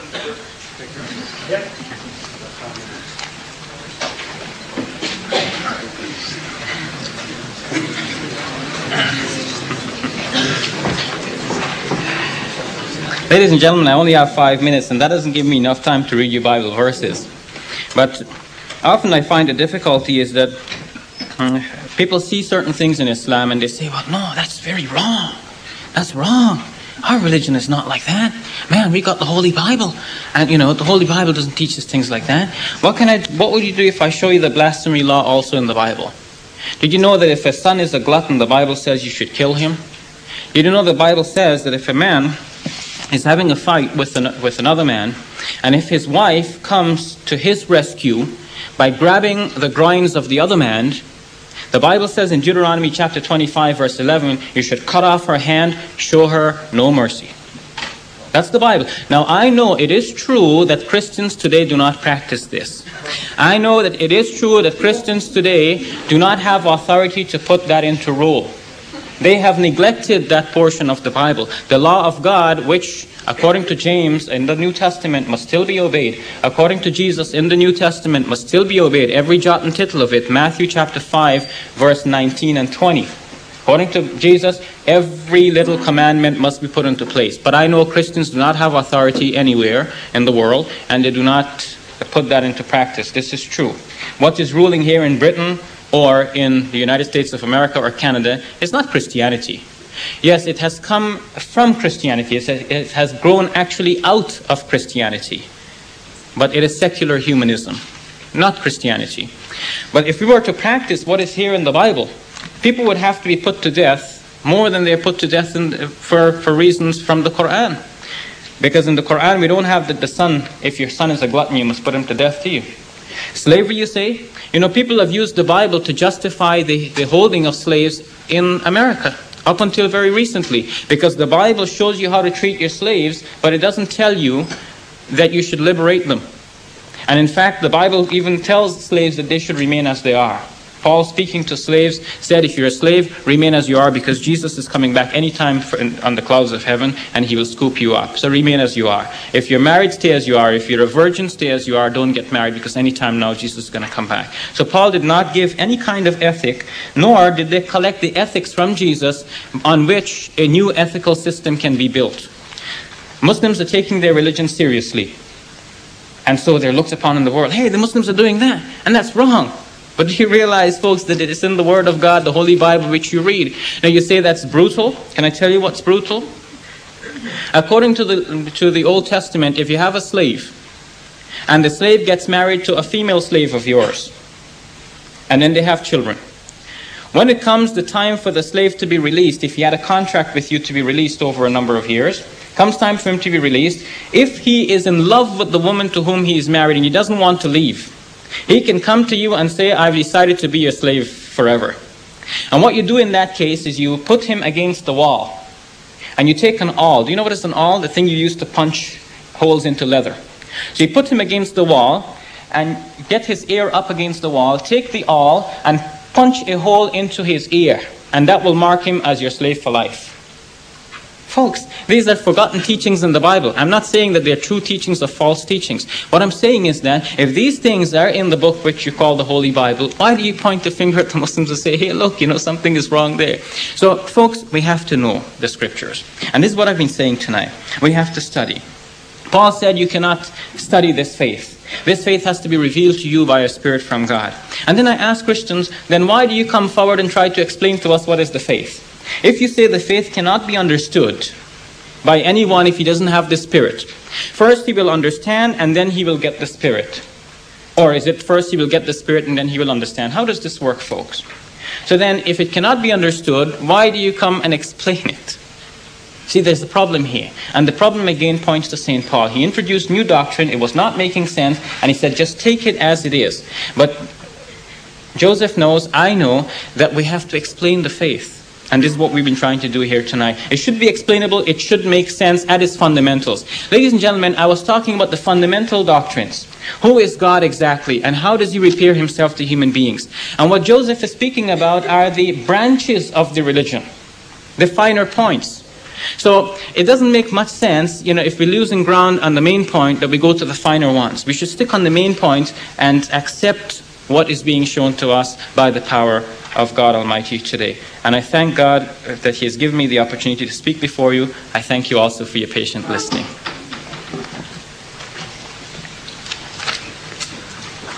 Um, now we're going to move to the uh, questions. We've got absolute piles of questions here.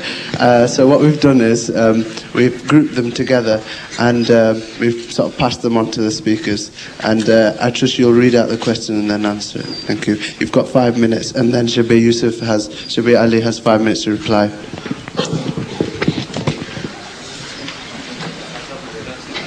Okay, the question to uh, Joseph about the relationship of God with, with Adam. What was the nature of this relationship? Was it a son father relationship? I think I've already. I think I may have answered that already. I think it's very clear that it was. It was uh, not a relation to a son to a father. It was a relation to a creator to his created. Now we are called his children, and, there are, and, and, and we must be careful that we don't look at that as a biological relationship.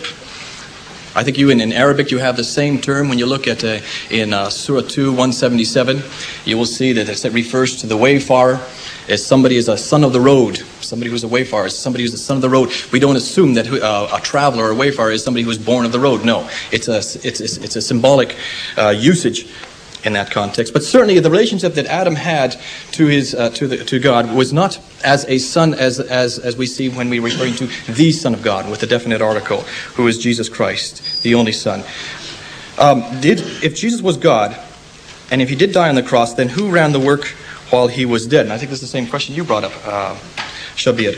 And I've, and I've heard this question many times, and to me, it's, it's, it's, in some ways, it's, it's rather an odd question because I don't. I think in in, in, the respect that you have with the with the holy with the, with the spirit of, of, of Allah, who is pervasive through the earth. Who are when the spirit is on earth, when the spirit is in your presence, certainly where is Allah at that time? And what do you do with ruh?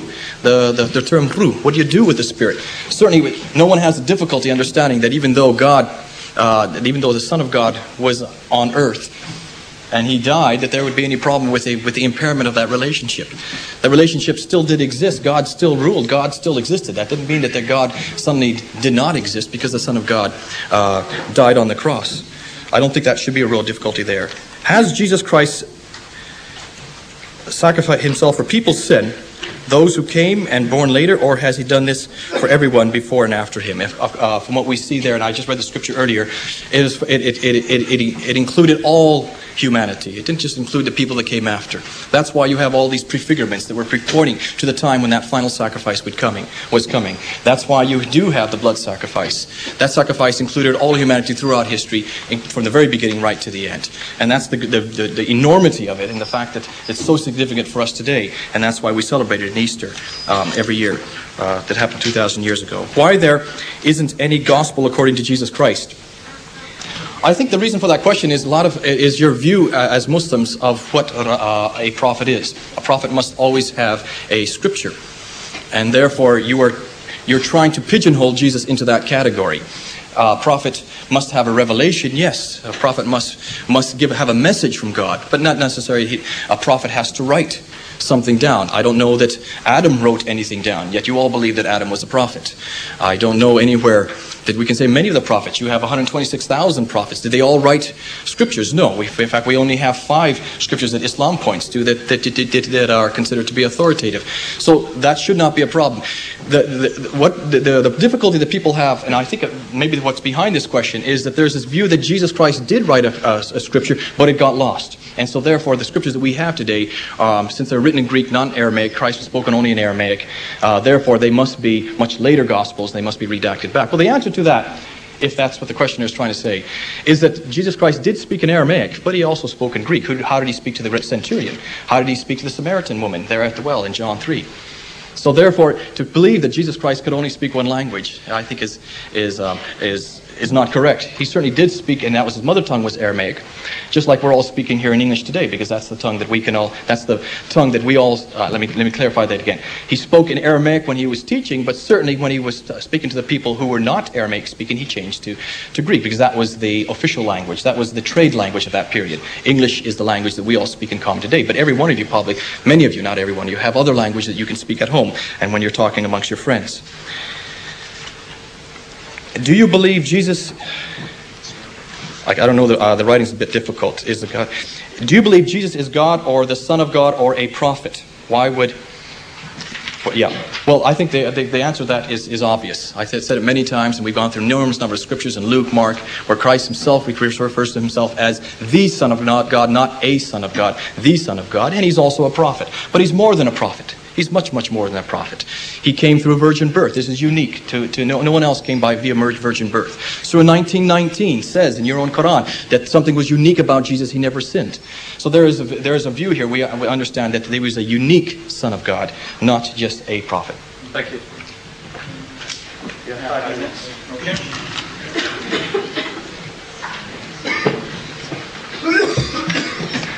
What I like about this debate is so rapid fire, you know, we're back and forth to catch everything on the spot.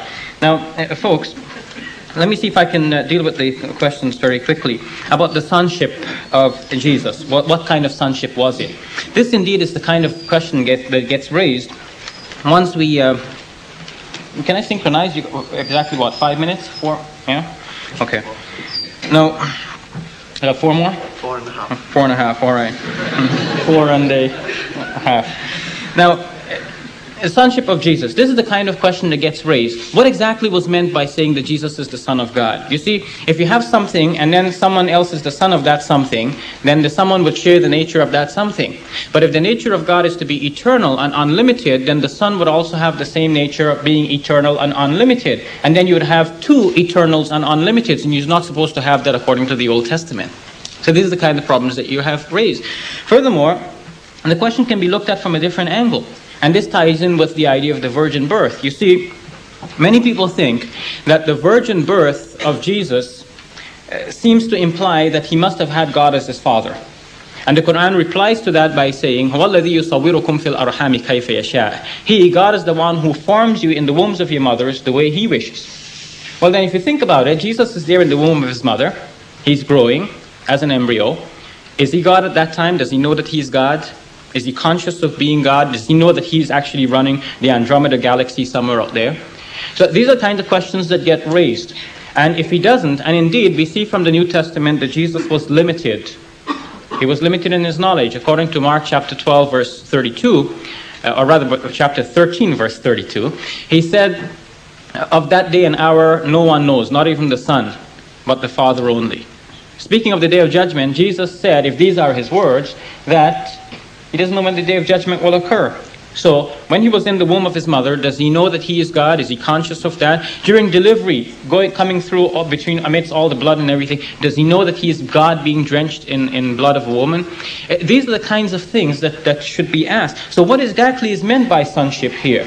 And then, you see, many people read in the New Testament that the virgin birth was announced to Mary in this way that the angel came to her and said that the Holy Spirit, uh, when Mary asked, you know, how will this be? So she was told, the Spirit of the Most High will come upon you. The Holy Spirit will, will overshadow you.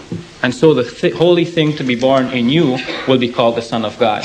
So many people understand that, yeah, Jesus is the Son of God because the Holy Spirit came upon Mary and overshadowed her in this graphic way that must be envisioned in their minds somehow. You can't escape it if you're reading the Gospel according to Luke. And then the common lay Christian thinks, well, yeah, that's how come Jesus is the Son of God. But if you ask the theologians, they will tell you, no, no, no, that's not how Jesus is the Son of God. Jesus was the Son of God from all eternity. He didn't become Son of God at that point, you see. So you didn't need the virgin birth for that. If God wanted to come into the womb of a woman, he could have come into any woman, virgin or not. He doesn't need a virgin woman for that. And certainly you don't need the Holy Spirit to overshadow Mary but the way it is written in the Gospel of Luke leads to a misunderstanding in the minds of people. People think that, yeah, you know, somehow God replaced the male agent in this relationship with Mary and produce this child. But this is a wrong understanding. Neither Muslims nor Christians should have that understanding. No. It's wrong to say that Jesus is the physical Son of God. But then what sort of Son is he? If he is the spiritual Son of God from all eternity, what exactly is the proof for that? That proof has not been offered anywhere. When Jesus died on the cross, who ruled the world? Well, we looked at this question before, but we look at it again. Truly, he was dead on the cross, and you say he was God. Well, then, if he died, look what happens. There is a change in the Godhead. You say there were three. One of them died. Is there no change in the Godhead? Well, if the other two maintain the full Godhead without the third one, that means the third one is dispensable. And if he didn't die, really, that means it's just a charade. He didn't really die, he just appeared to die to the people. But, you know, he's appearing to do, you see, the whole story, folks, is a kind of, I don't know how to put this. Imagine yourself that you're a painter. You have to paint this whole floor, 30 seconds, wow. You know, you start at one corner and you end up at the door so you can exit. But if you're a foolish person, you paint all around and leave yourself in the middle, and then you ask, how can I get out of here? Send me a rope down from the top. And it seems that God was caught into a corner. He didn't know what to do. The solution is simpler than that. He knew what to do. He forgives the sins of people.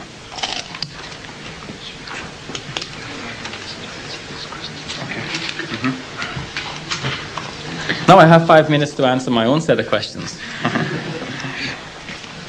okay, so the first one is dropped on the floor. Bible makes references to prophets who, commit, who committed sins. Uh, can we uh, can we base our faith and our lives on the words of sinners? Well, uh, this is a this is a question too. I mean, if the Bible shows us that these heroic figures were committing sins, then the average person is going to say, you know, I know the temptation is calling me out there, and uh, you know, I don't feel like doing it. I want to do the right thing, but you know, somebody like David did it, so why not me? You see? But if you read in your Holy Scripture that the figures who should be respected and loved and, and, and used as your models, if they were holy persons, in the sense that they didn't go after these major sins, like the way they're described in the Bible, well, then you have a more positive outlook. You have a better chance of living a moral life yourself. You are what you read, the saying goes, or what you eat, no? Uh, so it is it is more psychologically healthy and religiously uh, pleasing if you can read in your scriptures that the prophets did not commit the types of sins that are reported of them in the Old Testament. And this is why I'm happy that God gave us the Quran because the Quran tells us that all these people were righteous persons, like David, that he was from the righteous person. And you can see this even in the Bible. I mean, how come the Bible says that David committed all these heinous crimes? Like, you know, he, he saw a woman bathing, he took her into his house because he couldn't resist her, and then the woman's husband was out in the army. So, you know, he had the man called back. Because after he had a relationship with the woman, he's worried about the news that will spread. So he had the man called back to go and spend the night with his wife. But when the man came back, he said, No, sorry, David, I can't go enjoy my time with my wife because you see, my comrades are out there in the battlefield, getting their, you know, putting their lives in danger. I can't go to my wife. He said, I'm just going to spend the night here in the palace. So David, you know, was losing. So the man had to go back to the battle, and David sent a letter with his. Um, first man in charge saying, put this man in the front line of the battle to make sure he gets killed. You see. So now he took the woman and then, you know, arranged for the death of the woman's husband. And then the Bible says that David was a man after God's own heart. And in Hebrews chapter 11 names him as one of those persons of whom the earth was not worthy. So you see, David was a righteous man, and this is what the Quran does in fact bring out. But sometimes things crept into the Bible that uh, perhaps should not have been there in the in the Book of God. Who in Judaism? That's the next question. Who in Judaism? I better be quick here now. Is the sin transferred to the goat? Uh, oh, in Judaism, the sin is transferred to the goat. In Christianity, sin is transferred to the Son of God. In Islam, where is the sin transferred? Uh, folks, sin it's not something that really exists there as a monster somewhere that has to go somewhere. Symbolically, the Jewish people were putting the sins on the goat and they can feel satisfied, you know, it's going. In Christianity, people have the same satisfaction, you know, it is going there. In Islam, I feel we have the right understanding that it doesn't have to go somewhere. Sin is disobedience of God. Even the Bible says that sin is lawlessness. So what you have to do is repair yourself to God by asking for Him to forgive you. It's not something physical, although it has been personalized in the past. It doesn't have to go anywhere, and God does not have to demand a price for it from anyone. He just simply forgives it because He loses nothing. However, if we wrong another human being, we have to repay the human being and then seek forgiveness also from God. About uh, Abraham, it seems to say, do you subscribe to the Jewish view that although God said you will surely die and then changes his mind?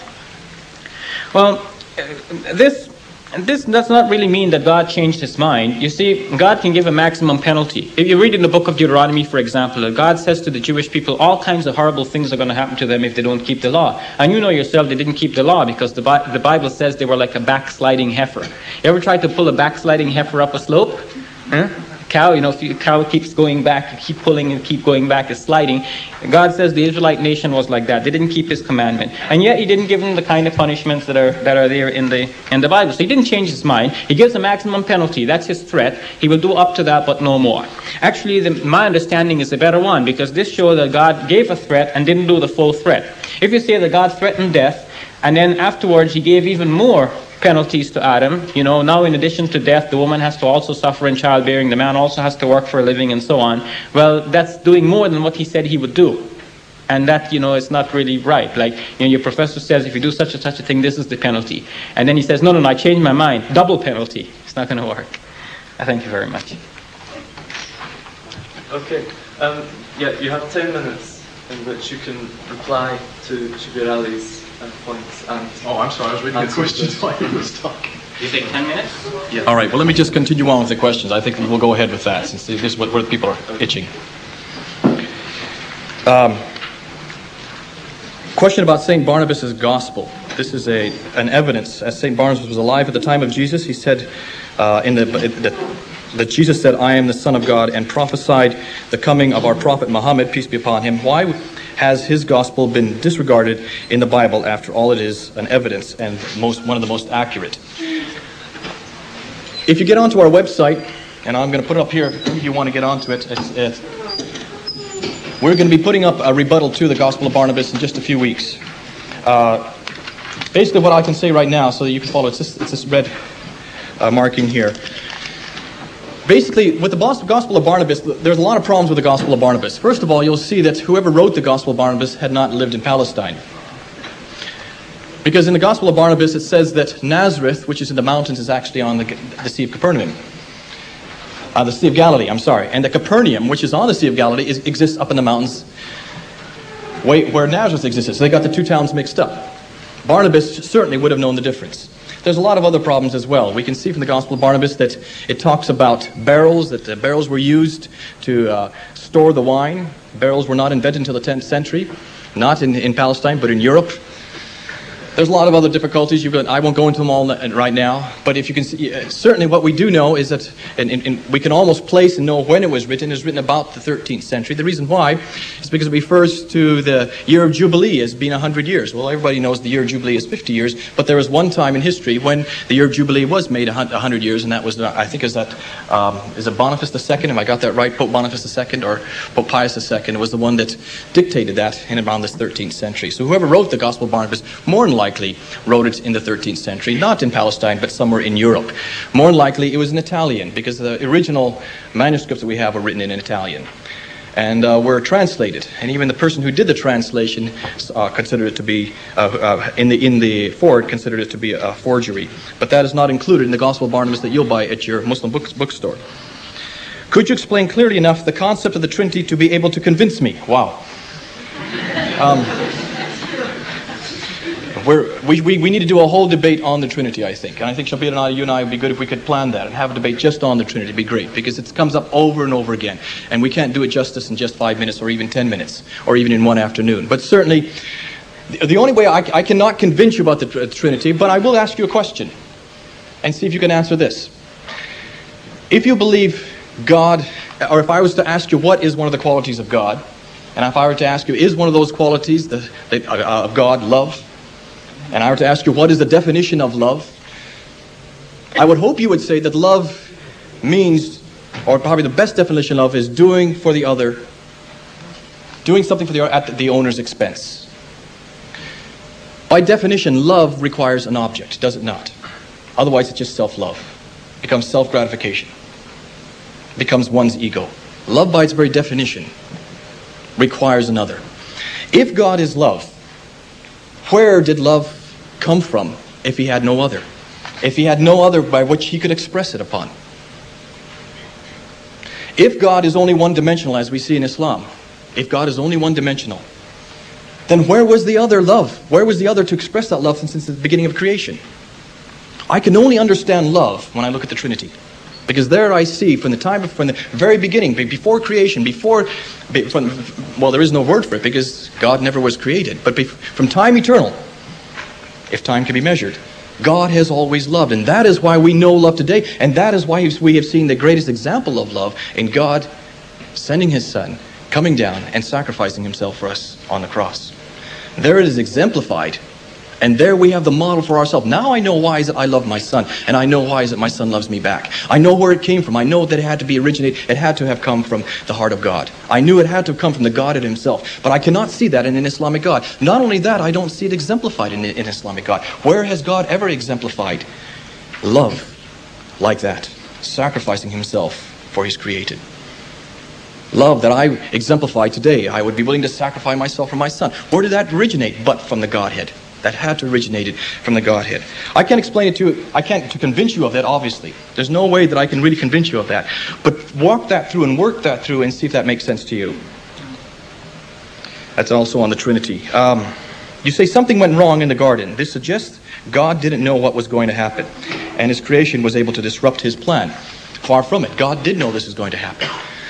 God certainly knew what was going to happen. But God knew, in, in, in, knowing that this was going to happen, he, did, he let it happen uh, nonetheless. Why? Because He knew that in order for us to have that freedom which He has, in order for us who are made in His image, to have the freedom to choose between right and wrong, to be able to choose to reject or accept Him, Knowing that we were going to do that, he knew that we were going to reject him. He knew that we were going to have to pay for that, that we were going to have to be thrown out and be, uh, uh, that relationship was going to be lost. He knew also that that, would, that that same sin, that same broken relationship was going to be repaired. So the two go hand in hand. He knew that this that what, what our decision was going to be, but he also knew that he was going to be the one that would have to pay and redeem us back to himself, buy us back a second time doesn't suggest at all that his plan was disrupted. It suggests everything that we that shows the enormity of what God has given to us, and that is He's given us the same choice, made in His image, that He has. When Jesus said that all food is clean, and how come the Holy Spirit said that once that once some fasts some food is unclean. Okay. Um, you need to go to Acts 10. Let me back up.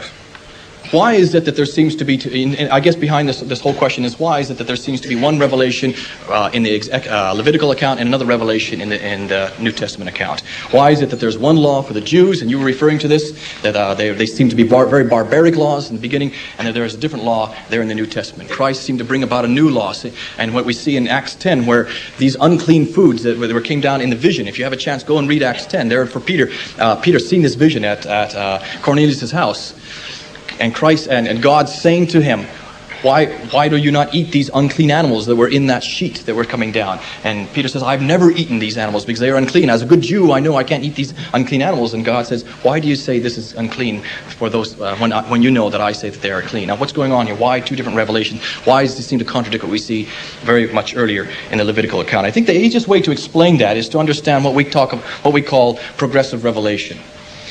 What we mean by that is that if you look at the Levitical account, if you look at what's happening right through the swath of the history in the, in the Old and New Testament, you will see that God is working with His people. He is working with His people who are in uh, in in, uh, in, in Egypt for those hundreds of years and bringing them out uh, under Moses' leadership and bringing out them into into the desert. He finds that there's an enormous amount of sin still in, involved in it. They're still praying to gods. They were still using idols. In fact, it was idols they used to build this golden calf. They still had an enormous amount of Egypt still in them.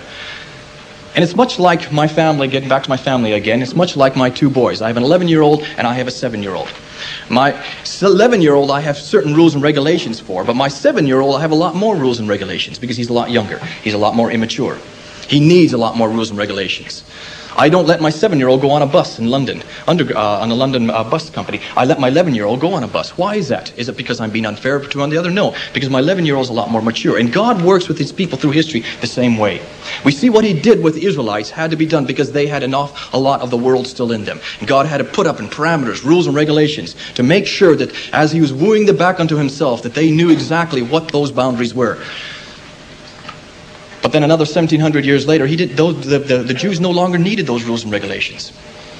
He didn't need those. They didn't need those rules and regulations because they now had the scriptures. They now had the, the, the, they, they now had retrospect. They can look back at the history and see how God had used and worked with them all the way through those 1700 years. The new law that God now put into their hearts. We see that in Jeremiah 30, 31, 31, prophesying that God would now place that law into their hearts this new law was now being evoked and being, being uh, uh, stimulated by the Holy Spirit. And we see this in John 16, where it says, I will send you a comforter, not the paraclete, not the, the glorious one, as many Muslims think it is. It's the paraclete is the Holy Spirit. It says so right there in, in John 14, John 16, which we now, which we see fulfilled in Acts 1 8. It is this Holy Spirit, thanks. It is this Holy Spirit then that now convicts. It is this Holy Spirit that now directs. It's this Holy Spirit that now directs each one of us who have been redeemed. So that we know now what is right and wrong. We don't need, we know now what, we don't need all these boundaries and blue rules and regulations. We are now much more mature, and even more so 2,000 years down the line. And that's the same way we work with our children. It's the same way that God works with his children. I think that's the easiest way to explain that. Here's the same question again. Um, if we are made in God's in the image of God, does that mean that God's weak? Oof. Um, certainly, I would not hope that people looking at. Oh, do I have time to get into this? no. Okay. Thank you. Can I just explain? Um, this is the final five minutes, so if you could just remain seated. After this, it's all ending, inshallah, God willing. What do I have? Five minutes for questions or five minutes to reply or both? Both. Just five. Okay. Five total. Five in total? Yeah. Okay. All right. In five in total, I got to be really quick. First reply. Gospel of Barnabas, we must reject it, uh, Smith tells us, because there are mistakes in the Gospel of Barnabas. I don't think this is a sufficient reason for rejecting the Gospel of Barnabas. Mind you, I didn't say this is the Word of God, this is the true Gospel. But I'm saying that we cannot reject it out of hand just because it's got mistakes, because, on the other hand, the four Gospels also have mistakes.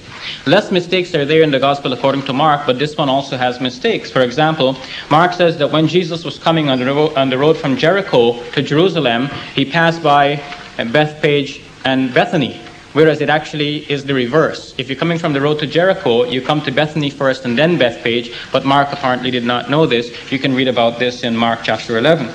Then, Again, in Mark, we're told that uh, Herod was uh, unhappy with uh, John the Baptist and what he preached because Herod has, had taken his brother's Philip's wife. And uh, actually, historians have found out it wasn't his brother Philip's wife, but his brother Boethus' wife. Boethus, not Philip. So there are mistakes also in the Gospels of a historical nature. Luke also made a mistake about Quirinius. He said that a census took place in the age in the time of Quirinius. But we also read in the Gospels that Jesus was born during the reign of Herod, and the two times do not match by 10 years. They're off. So either Lucas got it wrong or Matthew's got it wrong. There is a mistake, but we don't reject the Gospels outright because of that. We should still study them and see what information they can bear on the life and teachings of Jesus. The Trinity. How do we explain the Trinity? Ladies and gentlemen, there's no explanation that makes sense concerning the Trinity. People have tried. Uh, this one about God is love I, I think this is really futile thinking. Let me explain why. You see, you can ask all kinds of questions about God. You can ask, you know, is God powerful enough to build a stone so big that he, even he can't lift it? Huh? You know, you can ask all kinds of questions. But what's left for Muslims and Christians to do is to go back to the original message. What did Jesus preach? Did he preach that God is one in three? Anywhere, can you find me the words of Jesus anywhere in the Bible? He said, I am God, worship me. Or he said, God is one in three or three in one? No. According to Mark chapter 12, verse 27, when he was asked about this, he said, Hear, O Israel, the Lord your God, the Lord is one. He said, This is the greatest of all the commandments. The man who asked him about this said to him, You're right, teacher. You're right in saying that there is only one God and besides him there is no other. And Jesus praised the man for his right thinking and discernment. So that's the message that Muslims and Christians should both adopt instead of speculating. Otherwise, we can say, you know, God is love, but where was the love? You know, okay, so God created the heavens and the earth, but where was God before He created the heavens and the earth? Men and women, Muslims and Christians do not ask these questions. But Muslims and Christians follow the scriptures as was revealed to them. God in the garden, was he omniscient? Folks, unfortunately, the story as it is given in, in the in the um, book of Genesis shows God to unfortunately not know everything. Now, uh, Smith raised the point why doesn't Shabir speak about the Quran here? Uh, folks, the Quran is not the problem. The problem we're discussing, you know, we're looking at what needs to be corrected. You see, no, please don't laugh. Uh, you know, because we need to understand this, not to one community laugh at the other, but both community with love should share their thoughts and understanding and try to understand this together. Why we're discussing something? Because there's something that needs to be corrected in the understanding of people. I mean, if you read the book of Genesis, you get the impression that first of all, in chapter one, God created everything. He saw that everything was good. Then by chapter then by chapter 6, you find that God is taken almost by surprise because now everything is not good. God is fed up with the sins of human beings. He said, My heart will not put up with them forever because from morning till night their inclinations are all towards evil. So God said, I'm going to limit their years to 120 years. But even that didn't stop people from committing evil. Then God decided, I'm going to wipe them all out with the flood of Noah. Then after that, people are just as bad as before. So one commentator on the Bible says it seems that God is trying everything possible to reform man and it's not working. So God is not trying, ladies and gentlemen, but that's the impression you would get from the Bible. No, God knows everything in advance. He's not in that limited form, but somehow the authors of the Bible perceived of him in that form, like a big superhuman being, a man in the sky. And so this is how they wrote concerning him. But the God of the Muslims and the Christians and the Jews transcends that, and we want both Muslims, Christians, and Jews to understand that about the one all powerful, unseen God, the maker of the heavens and the earth. Ladies and gentlemen, I thank you very much.